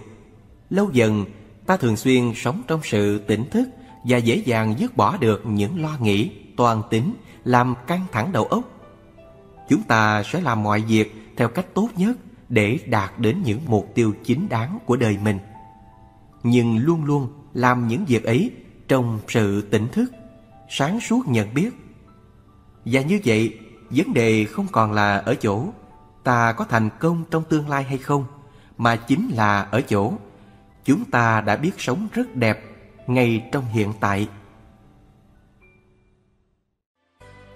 Nhịp điệu của cơ thể Những người dân chài sống ở gian biển từ lâu đã ý thức được mối liên kết giữa nhịp điệu và hiệu quả lao động. Họ biết rằng khi hoạt động nhịp nhàng, sức làm việc sẽ gia tăng và đồng thời có thể kéo dài hoạt động một cách bền bỉ hơn. Vì thế, họ đã nghĩ ra những câu hò điều hát khi làm việc để tạo sự nhịp nhàng đều đặn trong công việc. Điều đó cũng đúng trong tất cả mọi sinh hoạt khác của chúng ta, thậm chí cả trong giấc ngủ. Quan sát một người đang ngủ say ngon, ta sẽ thấy lồng ngực họ lên xuống rất nhịp nhàng, đều đặn và chậm rãi. Nếu giấc ngủ bị quấy nhiễu bởi những cơn ác mộng hoặc khi cơ thể có bệnh tật bất thường, chúng ta sẽ dễ dàng nhận ra sự rối loạn thất thường của nhịp thở. Người đi bộ muốn đi nhanh và đi được xa cũng cần đi một cách nhịp nhàng và đều đặn. Người chạy bộ hoặc đi xe đạp cũng đều như thế. Nhịp điệu đều đặn của cơ thể luôn gắn liền với hơi thở vì thế, từ lâu người ta đã biết chú ý điều hòa hơi thở như một phương tiện để làm chủ nhịp điệu cơ thể. Vào những năm cuối của thập niên 1970, tôi có đi trồng lúa rẫy ở một vùng núi xa. Những người trong làng cùng nhau luân phiên đi trồng tỉa cho từng chủ đất để mỗi thửa đất đều có thể được bỏ giống xong trong chỉ một buổi hoặc một ngày. Số người cùng làm việc với nhau trên một thửa đất như vậy có khi lên đến dài 30 người. Chúng tôi chia thành hai nhóm. Đàn ông lo việc cuốc lỗ và phụ nữ trẻ em đi bỏ giống rồi dùng chân lắp lại. Những người cuốc lỗ lại cũng phân lối đều nhau trên toàn thửa đất. Người làm việc khỏe hơn, nhanh hơn thường bỏ xa những người yếu đuối và điều đó được thấy rõ qua từng lối đất. Ban đầu tôi không sao đuổi kịp những người dân làng lực lưỡng vì họ khỏe hơn tôi rất nhiều. Nhưng chỉ vài hôm sau, tôi đã có thể bắt kịp và thậm chí có thể vượt qua một số người. Vấn đề ở đây là tôi nhận ra muốn thực hiện nhanh động tác quốc lỗ không chỉ cần có sức mạnh mà quan trọng hơn là sự nhịp nhàng. Vì thế, tôi bắt đầu kết hợp hơi thở sâu đều với các động tác đều đặn khi cuốc lỗ. Chỉ một thời gian, trong tôi hình thành một chuyển động có chu kỳ lặp lại nhịp nhàng theo một nhạc khúc do tôi tưởng tượng. Sau 5 đến 10 phút khởi động, tôi bắt đầu gia tăng nhịp điệu của nhạc khúc ấy và kết quả là những người bên cạnh tôi đều kinh ngạc khi thấy tôi làm việc ngày càng nhanh hơn họ.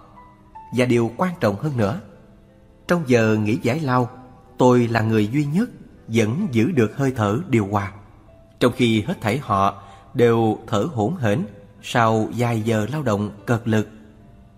Thật ra thì tất cả mọi hoạt động thường ngày của chúng ta đều cần được điều hòa. Chúng ta đi lại làm việc, nhiều khi hoàn toàn theo giới quán tính, thói quen và không để tâm nhiều đến việc mình làm. Nếp sống lơ đễnh như thế làm chúng ta đánh mất đi những giây phút tươi đẹp nhiệm màu của đời sống. Vì ta đã không hề có khả năng cảm nhận. Khi chúng ta làm việc với sự chú tâm, tỉnh thức, ta hồi phục lại nhịp điệu cho cơ thể mình. Chúng ta chú tâm vào hơi thở, tìm ra một kết hợp hài hòa giữa hơi thở và nhịp điệu thích hợp cho công việc. Ngay cả với những công việc không có chu kỳ lặp lại đều đặn, việc giữ hơi thở đều cũng giúp cho ta làm việc hiệu quả hơn và bền bỉ hơn. Nhưng quan trọng hơn nữa là chúng ta duy trì được sự tỉnh thức của ta trong cuộc sống. Khi ta chú tâm vào hơi thở, ta biết mình đang hiện hữu. Vì ta đang hiện hữu, nên mọi con người, sự vật quanh ta cũng đều hiện hữu. Duy trì một nhịp điệu cơ thể bằng cách chú tâm vào hơi thở, chúng ta sẽ dần dần hòa nhập vào với môi trường quanh ta một cách hài hòa và kỳ diệu. Những công cụ làm việc của ta vì cùng chuyển động theo với nhịp điệu của cơ thể nên không còn là những công cụ tách rời nữa mà trở thành một phần của cơ thể ta. Các tay kiếm thuật Nhật Bản hiểu rất rõ điều này. Khi họ múa kiếm, thanh kiếm là một phần không thể tách rời của toàn thân họ. Mọi vật quanh ta cũng vậy, chúng đang cùng ta hiện hữu trong cuộc sống nhiệm màu. Ta cảm nhận được sự hiện hữu của chúng và chúng cũng cảm nhận được sự hiện hữu của ta. Ta có mặt là vì tất cả và tất cả có mặt là vì ta. Môi trường và cá nhân không còn là sự tách rời, mâu thuẫn, chống phá lẫn nhau, mà là sự hợp nhất hài hòa trong một nếp sống tỉnh thức qua nhịp điệu của từng hơi thở. Hơi thở là đầu mối tiếp xúc sự sống của chúng ta. Lãng quên hơi thở là đánh mất cuộc sống. Hơi thở cũng là cầu nối giữa tâm ý và thể xác. Tâm ý khuất phục thể xác thông qua việc điều hòa hơi thở. Hơi thở nhẹ nhàng êm ái sẽ buộc thể xác phải dừng lại những hối hả gấp gáp. Hơi thở ôn hòa lắng dịu sẽ chặn đứng những cơn giận dữ tức tối. Thường xuyên duy trì sự chú ý vào hơi thở là duy trì được sự sống, duy trì mối quan hệ tỉnh thức giữa ta với dàn vật. Và như vậy chính là ta đã đạt được sự yên vui hạnh phúc mà không cần phải đi tìm ở bất kỳ một nơi xa xôi nào khác. Nét đẹp trong cuộc sống Một người bạn họa sĩ có lần hỏi tôi Anh ngắm hoa như thế nào để thấy hết vẻ đẹp của hoa? Tôi trả lời anh ta Nếu anh ngắm hoa vì muốn thấy hết vẻ đẹp của nó Anh sẽ không bao giờ đạt được ý nguyện Thay vì vậy, anh hãy tiếp xúc với bông hoa Cuộc sống cũng là một bông hoa Và là một bông hoa rất tuyệt vời. Nếu chúng ta viết ra hàng năm mười chương sách để mô tả vẻ đẹp của cuộc sống Chúng ta cũng sẽ không bao giờ có thể nói hết. Và vì thế mà người đọc cũng sẽ chẳng thể cảm nhận hết những gì mà chúng ta muốn mô tả. Khi tôi ngắm hoa, tôi không nghĩ là mình đang tìm kiếm vẻ đẹp của bông hoa. Bông hoa là một thực thể trong cuộc sống. Tôi cũng là một thực thể trong cuộc sống. Tôi và hoa cùng hiện hữu. Tôi có mặt nơi đây là vì bông hoa và bông hoa cũng hiện hữu nơi đây là vì tôi. Từ đó, tôi cảm nhận được vẻ đẹp của bông hoa, màu sắc và hương thơm, những đường nét tinh tế. Tôi không hề có ý niệm muốn chiếm hữu bông hoa hay vẻ đẹp của nó. Tôi hiện hữu cùng bông hoa và vì thế tôi tiếp xúc được với nó. Bằng cách đó, tôi có được những rung động sâu xa nhất mà một tác phẩm nghệ thuật thiên nhiên tuyệt vời có thể mang lại cho con người. tôi cảm nhận được hoàn toàn vẻ đẹp của bông hoa.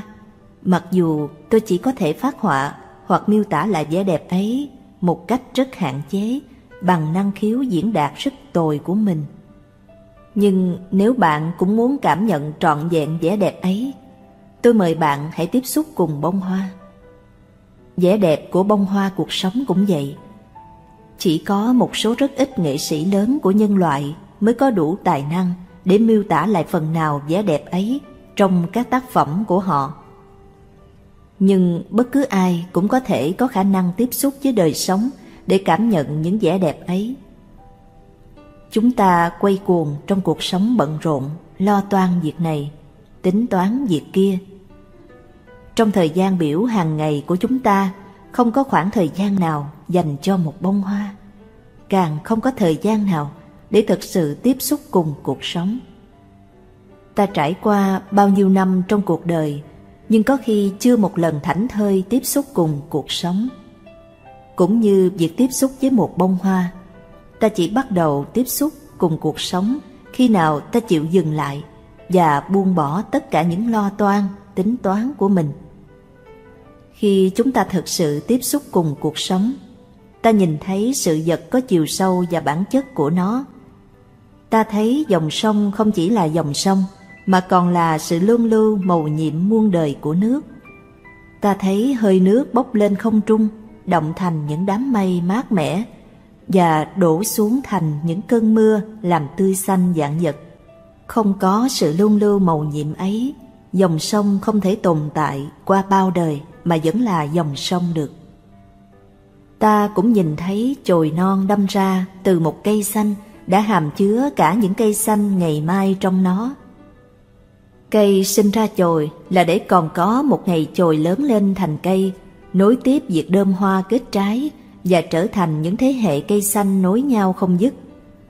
Ta cũng nhìn thấy quanh ta là những con người rất tuyệt vời màu nhiệm.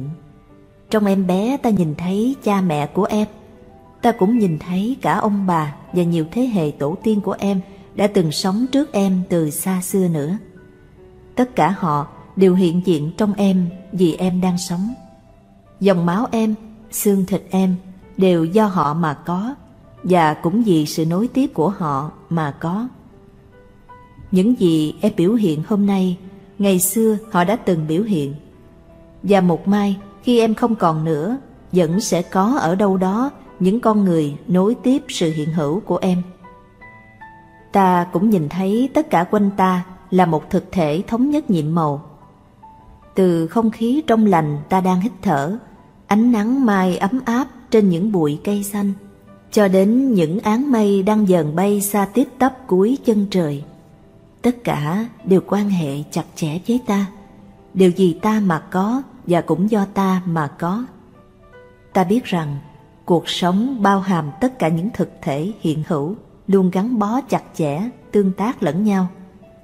Nhìn vào bát cơm, ta thấy có bông lúa triểu hạt, có bác nông dân cày bừa khuya sớm, có ánh nắng, cơn mưa, dòng nước mát đã nuôi lớn đồng lúa xanh. Nếu không có bác nông dân cày bừa khuya sớm, không có ánh nắng, cơn mưa, làm sao có đồng lúa triểu bông? Không có đồng lúa, làm sao có bát cơm ta đang nhìn thấy?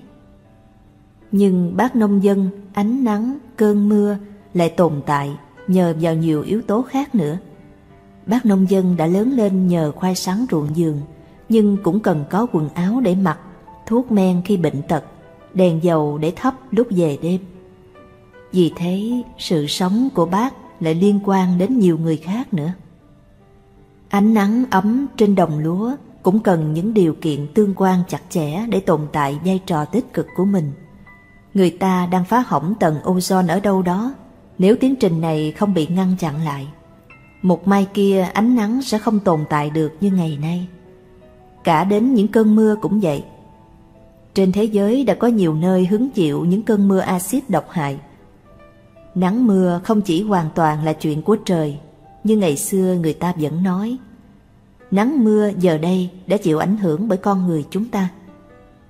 Tiếp xúc thật sự với đời sống, ta mới cảm nhận được vai trò của bà mẹ thiên nhiên Cư dân những thành phố đông đúc ngày nay mắc phải rất nhiều chứng bệnh lạ kỳ. Đôi khi người ta không thể chỉ ra được là bệnh gì, chỉ biết là họ không thể sống được hoàn toàn tự nhiên khỏe mạnh. Điều đó chẳng qua là vì họ xa mẹ quá lâu, bà mẹ thiên nhiên không sao đến gần cùng họ được trong những khối nhà bê tông cốt thép. Họ sống trong những khối bê tông, làm việc trong những khối bê tông, đi mua sắm cũng trong những khối bê tông. Không mấy khi họ được tiếp xúc cùng thiên nhiên tươi mát. Ngay cả việc tiếp xúc bằng mắt thôi cũng đã hạn chế lắm rồi. Thử ngước nhìn lên bầu trời đô thị, dây điện chằng chịt qua lại và những tòa nhà cao ngất trời. Có còn lại bao nhiêu khoảng không để ngắm nhìn. Ban đêm, những đêm có trăng, ánh trăng như nhợt nhạt, biến sắc hẳn đi vì những ánh điện sáng rực đủ màu hắt cả lên bầu trời đêm chói lọi. Thế nên, ngay cả ánh trăng thành phố cũng không còn là ánh trăng thiên nhiên nữa. Việc kiến thiết những đô thị mới ngày nay đang dành nhiều diện tích thích hợp cho cây xanh. Đó là tin tốt lành. Và nếu giữa thành phố nơi bạn sống còn có những cây xanh, những khoảng không thoáng mát, bạn hãy tranh thủ mà tận hưởng nó mỗi ngày. Hãy nhớ rằng thiên nhiên là một phần trong cuộc sống của bạn.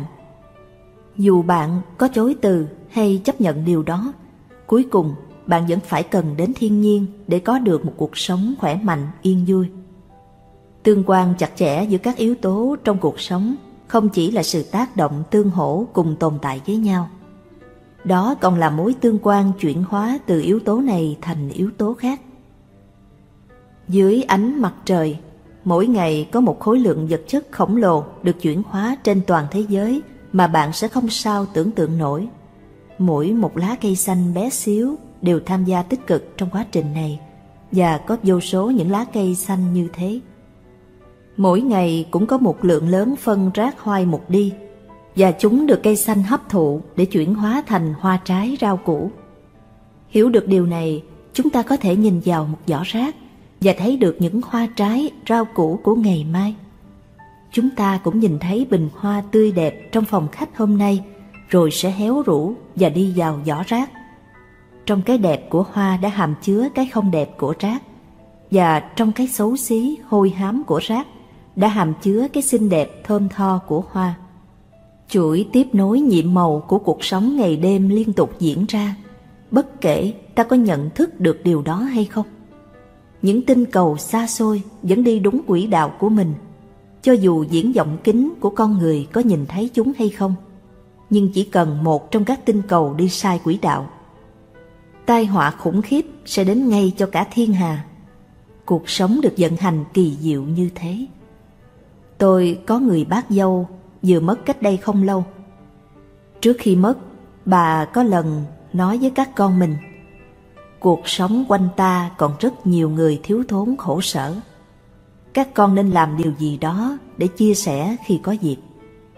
Một trong những người con trai của bà đã tiếp nhận lời khuyên đó và bỏ tiền mua một tấn gạo để tham gia vào công tác cứu trợ người nghèo. Bà là người buôn bán rất thành công và để lại cho các con một sản nghiệp to lớn. Nhưng tôi cho rằng lời khuyên của bà có giá trị còn hơn cả sản nghiệp ấy. Mặc dù bà không được học hành nhiều lắm, nhưng chính bằng vào trực giác và bằng vào tấm lòng, bà đã nhận ra mối tương quan giữa tất cả mọi người trong xã hội.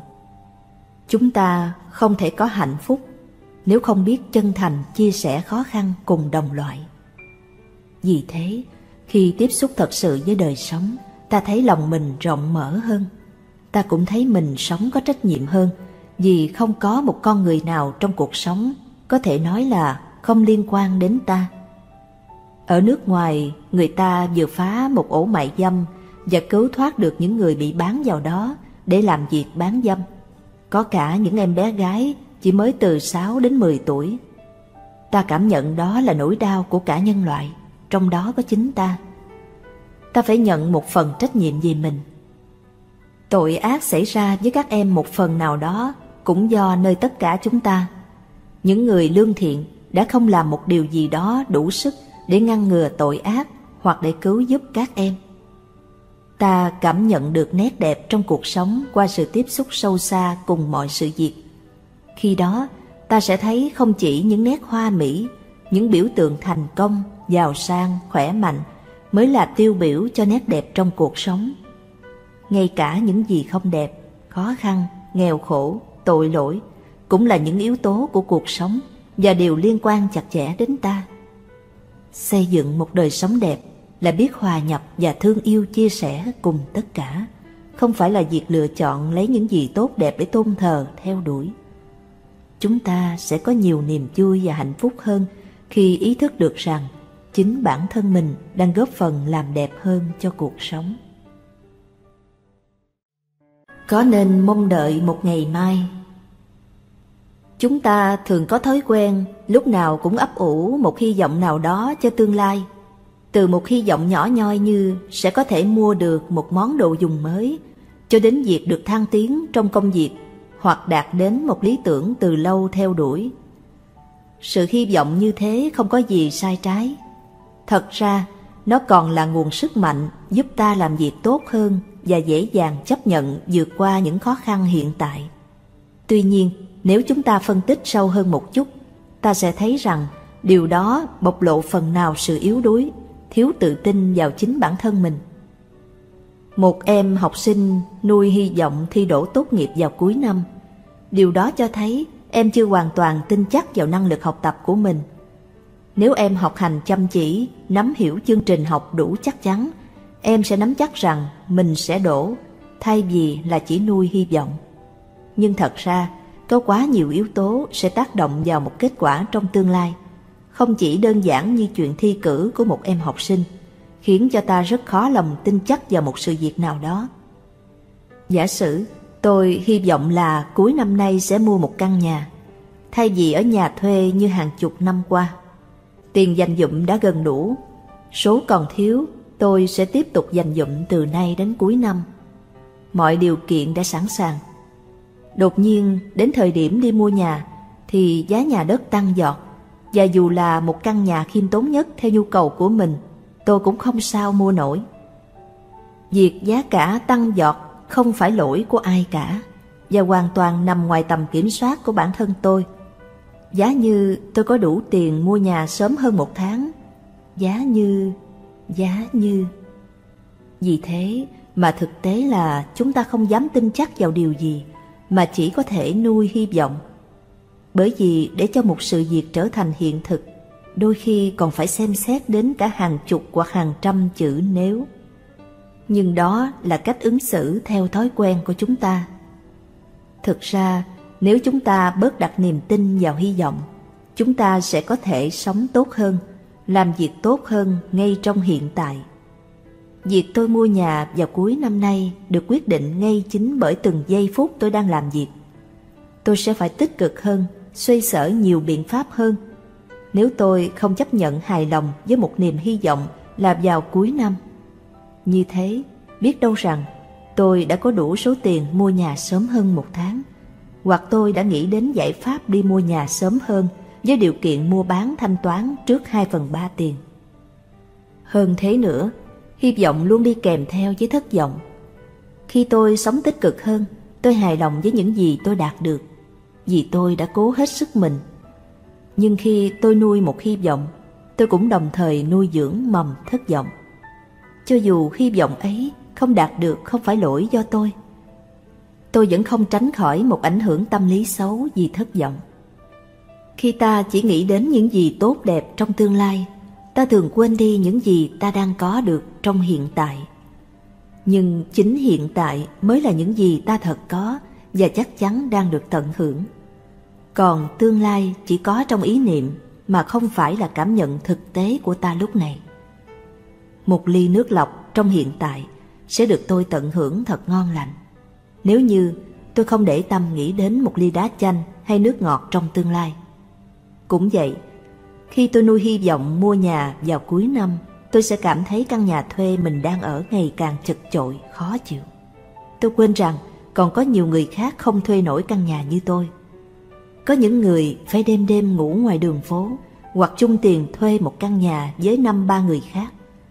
Bản thân tôi còn may mắn hơn những người ấy rất nhiều. Việc tôi dự tính mua nhà là hoàn toàn chính đáng và tôi cần phải nỗ lực hết mình cho mục tiêu ấy. Nhưng nếu tôi có đủ sáng suốt và tự tin, tôi sẽ không để cho điều đó ảnh hưởng tới những gì tôi đang sẵn có trong hiện tại. Tôi vẫn sẽ trân trọng những gì mình đang có. Và cho dù mục tiêu mua nhà không đạt được, tôi vẫn hài lòng và tận hưởng được hiện tại của mình. Tất cả những gì ta đang có được trong hiện tại là công sức ta đã bỏ ra từ lâu nay. Hơn thế nữa, nó còn là tất cả những gì ta kế thừa từ cha mẹ, tổ tiên. Có người bạn nói với tôi, tôi đã gầy dựng sự nghiệp của mình từ hai bàn tay trắng. Tôi không thừa hưởng được gì từ gia đình, cha mẹ tôi. Anh ta đã sai lầm hết sức nghiêm trọng. Những sai lầm theo kiểu như thế thường làm mất đi giá trị của chính mình. Tài sản to lớn, quý giá nhất mà anh ta đang có được chính là sự sống. Mà sự sống ấy là anh nhận được từ nơi tổ tiên, thông qua trực tiếp là cha mẹ anh. Vì thế, chúng ta cần phải hiểu được giá trị thật sự của giây phút hiện tại và biết sống hết mình với những gì mình có. Nuôi hy vọng không phải là sai lầm, nhưng nó cho thấy ta chưa nhận thức đủ về chính mình và cuộc sống.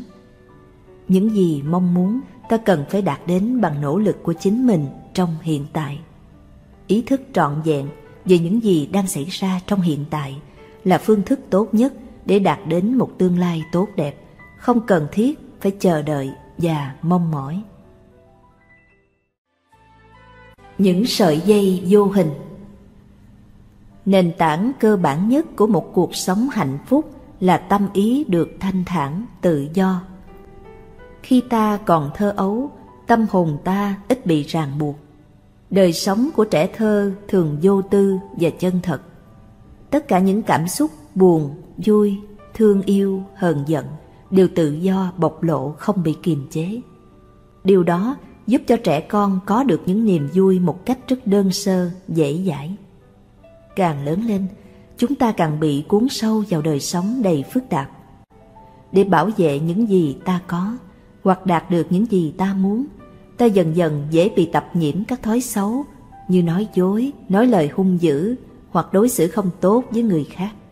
Tâm hồn ta dần dần mang những tỳ vết không còn trong trắng nữa.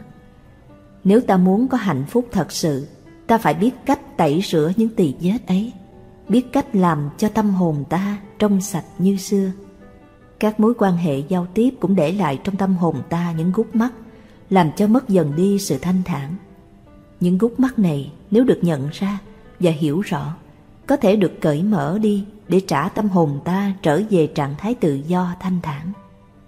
Nếu quan sát kỹ về sự hình thành và tồn tại của những gút mắt trong tâm hồn, có thể ta sẽ vô cùng ngạc nhiên khi thấy đôi khi chúng như hoàn toàn chi phối đời sống tinh thần, tình cảm của chúng ta. Chúng thôi thúc ta phải làm việc này, việc nọ, mà nếu với một trí óc phán đoán minh mẫn, ta sẽ thấy những điều ấy đôi khi là hoàn toàn vô lý. Có hai người bạn ở trọ cùng phòng, quan hệ của họ là vô cùng thân thiết. Một hôm, có khách đến chơi và một trong hai người đang tiếp khách. Khi vui câu chuyện, anh ta nói những điều mà người kia nghe ra loáng thoáng, có vẻ như anh đang nói dối. Khi có cảm giác là bạn mình nói dối, anh bạn này liền nảy sinh ý tưởng không còn tôn trọng người ấy như xưa. Anh ta nghĩ, hóa ra anh ấy cũng chỉ là một người dối trá. Và tình cảm bắt đầu bị xói mòn, vì trong lòng anh đã hình thành một gút mắt. Nếu có một lần thứ hai, thứ ba tương tự gút mắt sẽ ngày càng lớn dần và đe dọa tổn thương nặng nề đến tình bạn giữa hai người. Nếu là một người hiểu biết, ta có thể làm thay đổi tình huống trong trường hợp này, thay vì để tổn thương đến tình cảm quý giá. Lẽ tất nhiên, trong thực tế, có thể có nhiều khả năng khác nhau xảy ra. Ví dụ như người kia không hề nói dối, nhưng do anh bạn này đã nghe không rõ đầu đuôi câu chuyện khi có những khúc mắc tương tự như thế trong quan hệ giao tiếp, cách tốt nhất là chúng ta nên trực tiếp cùng nhau làm rõ một cách xây dựng, không cần thông qua bất cứ ai khác. Nếu chỉ là một sự hiểu lầm, nhất định vấn đề sẽ hoàn toàn tốt đẹp sau khi đôi bên đã thẳng thắn trao đổi cùng nhau. Nếu quả thật đã có những lời nói dối, sự nhắc nhở này có thể giúp người kia nghĩ lại và cải hối. Có thể anh ta sẽ thừa nhận mình đã nói dối trong khi vui chuyện và hứa sẽ không như thế nữa. Trong trường hợp này, vấn đề vẫn giữ được tốt đẹp. Thật ra, một quan hệ bạn bè có quan tâm giúp nhau sửa chữa sai lầm mới là mối quan hệ lý tưởng. Và vì thế, tình cảm sẽ càng thêm sâu đậm. Có rất nhiều trường hợp mà chúng ta hình thành những gút mắt tương tự trong quan hệ giao tiếp với người chung quanh và hầu hết những trường hợp như thế đều có thể được tháo gỡ nếu chúng ta nhận ngay ra khi nó xuất hiện lần đầu tiên. Nếu chúng ta không thành công trong việc nhận ra và cởi bỏ những gút mắt như vậy, chúng ta dần dần sẽ bị trói buộc bằng những định kiến ngày càng sâu đậm và mất dần đi nhiều tình cảm quý giá với mọi người quanh ta. Nhưng không chỉ những điều làm chúng ta khó chịu, không hài lòng mới hình thành những gút mắt làm trói buộc tâm hồn ta. Nhiều cảm giác thích thú, khoái trá cũng có thể có sự trói buộc tương tự. Một thiếu niên vừa lớn lên lần đầu tiên uống rượu hoặc bia.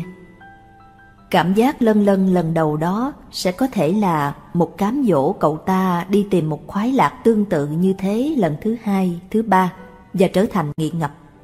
Thuốc lá hoặc bất cứ sự nghiện ngập nào khác cũng đều tương tự. Chúng mang lại cảm giác thích thú trong lần tiếp xúc đầu tiên và trở thành những sợi dây trói buộc lâu dài về sau, khiến chúng ta không còn có thể sáng suốt hành xử như xưa kia được nữa. Nếu chúng ta hiểu được tầm quan trọng của một tâm hồn tự do, chúng ta sẽ không để cho những sợi dây vô hình này trói buộc. Chúng ta sẽ thấy ra rằng một cuộc sống càng đơn giản với một tâm hồn rộng mở sẽ càng đưa chúng ta đến gần hơn với hạnh phúc chân thật. Và nếu chúng ta biết dẹp bỏ những thú vui tầm thường không lành mạnh, phần thưởng quý giá cho ta sẽ là một niềm vui sống chân thật và lâu dài. Hạnh phúc không phải là sự chạy đuổi theo những gì mang lại cho ta cảm giác khoái lạc nhất thời, mà là việc tạo ra được một nếp sống tự do, thanh thản, không ràng buộc. Người ta nhận những nguồn năng lượng tinh thần. Từ khi tôi còn học ở bậc tiểu học, tôi nhớ có một câu nói rằng đường đi khó, không khó gì ngăn sông cách núi, mà khó gì lòng người ngại núi e sông. Đã từ lâu, người ta nhận biết rằng sức mạnh của chúng ta không chỉ nằm ở phần thể lực, mà phụ thuộc rất nhiều vào tinh thần. Thậm chí, một khi tinh thần đã sa sút dù cho thể lực có mạnh mẽ đến đâu, người ta cũng tự cảm thấy yếu đuối và chẳng làm được gì. Những gì mà chúng ta gọi là ý chí, nguyện vọng, lòng ham muốn đều là những nguồn năng lượng tinh thần.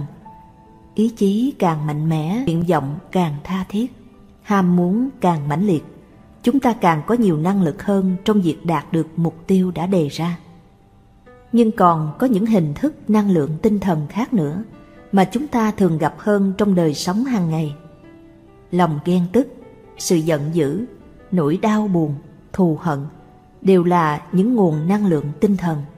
Chúng ta có thể nói một cách khái quát hơn, tất cả những cảm xúc, tình cảm của chúng ta thảy đều là những nguồn năng lượng tinh thần.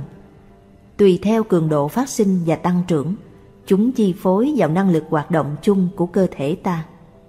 Vấn đề cần chú ý ở đây là nếu mỗi cảm xúc mạnh mẽ đều là một nguồn năng lượng, chúng ta sẽ không thể làm triệt tiêu chúng. Khi chúng ta muốn quên đi một nỗi đau hoặc dập tắt một cơn giận dữ, thường thì chúng ta luôn luôn thất bại. Giống như bất kỳ một loại năng lượng nào khác, chúng ta có thể sử dụng năng lượng tinh thần vào nhiều mục đích khác nhau. Đó là sự chuyển hóa. Người ta không thể tự nhiên quên đi nỗi đau đớn mất mát nhưng họ có thể chuyển hóa nó thành sự tha thứ, thương yêu nếu họ muốn bình an hạnh phúc.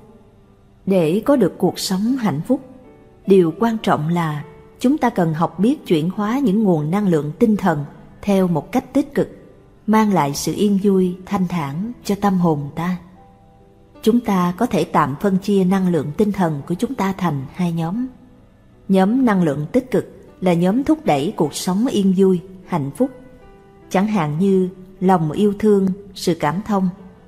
Nhóm năng lượng tiêu cực là nhóm thúc đẩy ta theo chiều hướng ngược lại, nghĩa là dẫn đến sự khổ đau, buồn chán. chẳng hạn như lòng thù hận, sự giận dữ. Chúng ta hoàn toàn có thể thực hiện sự phân chia như thế này bằng vào cảm nhận của riêng mình và bằng vào sự hiểu biết, nhận thức đúng đắn, chúng ta sẽ có thể chuyển hóa những nguồn năng lượng tiêu cực trở thành tích cực. Khi ta tức giận ai, ta cảm thấy sự thôi thúc phải làm một điều gì đó để giải tỏa sự tức giận. Ta bị cuốn hút về đối tượng đã gây nên sự tức giận của ta và cảm thấy bị thôi thúc phải nói hoặc làm bất cứ điều gì để gây thương tổn cho người ấy. Sự thôi thúc ấy làm ta bị nung nấu trong đau khổ và cho rằng chỉ khi nào ta làm được điều gì đó gây thương tổn cho đối tượng ta mới hết tức giận. Nếu chúng ta bình tĩnh phân tích vấn đề, chúng ta sẽ thấy rằng nguyên nhân chính của cơn giận không nằm ở nơi đối tượng. Sự giận dữ thường phát sinh từ một sự bất mãn, không hiểu biết, kiêu ngạo hay tham muốn. Vì thế, chúng hoàn toàn nằm ngay trong ta và đối tượng của sự tức giận chỉ là một nguyên nhân phụ thuộc. Lấy ví dụ, một trận lục xảy ra và tài sản ta bị thiệt hại rất nặng nề. Ta không hề tức giận trận lục ấy, vì ta có đủ hiểu biết để hiểu rằng trận lục do đâu mà có, và thật là ngây ngô khi nổi giận với trận lục. Nhưng một người lái xe hơi bị hỏng thắng đâm vào hiên nhà ta, gây ít nhiều thiệt hại sẽ làm ta tức giận. Bởi vì ta không có đủ hiểu biết để hiểu rằng do đâu mà người lái xe hơi ấy gây thiệt hại cho ta ta không chịu suy xét để hiểu, cho dù vấn đề rất đơn giản. Bản thân anh ta cũng chịu đựng sự thiệt hại và tai nạn xảy ra là ngoài mong muốn của anh ta. Nếu ta hiểu được như thế, ta sẽ cảm thông và tha thứ thay vì tức giận. Một buổi sáng nhiều sương mù, có một người chèo thuyền đi ven sông. Anh ta nhìn thấy một thuyền khác phăng phăng nhắm hướng mình mà lao tới. Anh ta hét lên, Cẩn thận, cẩn thận có người ở đây. Nhưng chiếc thuyền kia không đổi hướng, vẫn lao nhanh đến. Thuyền anh ta bị đâm vào và lật úp. Anh ta bơi vào bờ với tâm trạng tức giận vì mình đã cảnh báo mà người lái thuyền kia không chịu nghe. Nhưng khi lên bờ, anh ta mới nhận thấy không còn ai khác. Bởi thuyền kia là một chiếc thuyền không người lái. Cơn giận của anh ta tiêu tan anh ta đã có đủ hiểu biết để hiểu rằng do đâu con thuyền kia không chuyển hướng mà vẫn cứ đâm vào mình. Trong phần lớn trường hợp, nếu chúng ta chịu suy xét, tìm hiểu về nguyên nhân một sự việc, chúng ta sẽ dễ dàng cảm thông và tha thứ. Chúng ta sẽ nhận ra rằng rất nhiều khi đối tượng cơn giận của ta vốn dĩ đã phải chịu đựng rất nhiều và đáng được thương hại hơn là tức giận. Có những nguyên nhân gần và xa mà ta đều có thể hiểu được nếu chịu suy xét. Một người nào đó nói với ta những lời cao có, bởi vì ngay trước đó anh ta đã hứng chịu những lời tương tự từ người khác. Nếu hiểu được như vậy, ta sẽ không còn giận anh ta nữa. Đó là một nguyên nhân gần, nhưng còn có những nguyên nhân xa hơn nữa. Chẳng hạn, người ấy đã lớn lên trong một gia đình mà cha mẹ luôn nói với anh ta bằng những lời cao có bực dọc anh ta đã tập nhiễm thành thói quen nói những lời cao có bực dọc, nhưng không hẳn trong lòng anh ta có gì đáng ghét. Hiểu được như vậy, chúng ta cũng sẽ không còn giận anh ta nữa. Khổ đau, buồn chán, thù hận đều có thể được chuyển hóa bằng vào sự hiểu biết và cảm thông. Chúng ta luôn có được sự hiểu biết khi ta chịu suy xét Chúng ta luôn có được sự cảm thông khi ta chịu nghĩ đến những đau khổ, bất hạnh mà người khác đang gánh chịu. Khi chúng ta thiếu sự hiểu biết và cảm thông, chúng ta sống trong đau khổ và gây ra đau khổ cho người khác. Những gì chúng ta làm mà ta cho rằng có thể giúp ta dơi đi đau khổ, thật ra chỉ làm tăng thêm khổ đau nhiều hơn nữa và càng gây ra nhiều khổ đau cho người khác. Sự hiểu biết và cảm thông là một kỹ năng cần có quá trình rèn luyện. Hay có thể nói một cách khác đi, sự thiếu hiểu biết và cảm thông vốn là một thói quen tập nhiễm từ rất lâu mà ta không dễ loại trừ ngay trong chỉ một đôi lần. Đôi khi những cơn giận nổi lên và ta không sao kiềm chế được cho dù ta biết là mình hoàn toàn vô lý.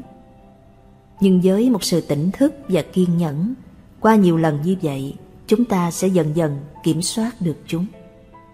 Sự thiếu hiểu biết thường là do không chịu lắng nghe từ người khác. Bởi vì có những điều chúng ta không thể suy ra được mà cần phải được nghe người khác giải thích. Nhưng thói quen của chúng ta khi nóng giận thường là không chịu lắng nghe người khác.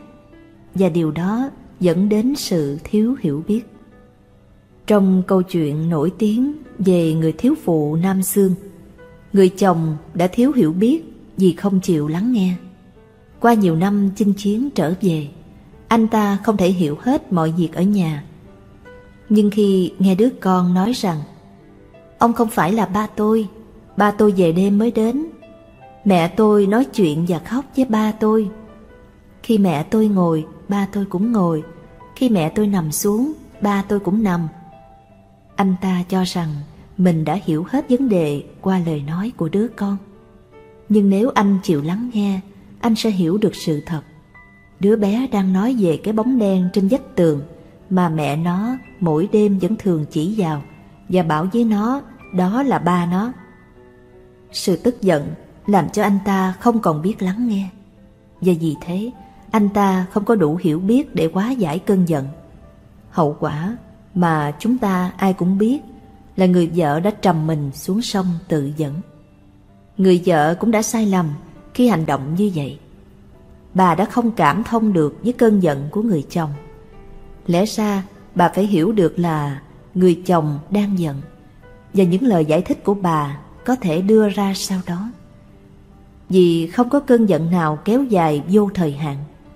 Bản thân bà cũng có một cơn giận.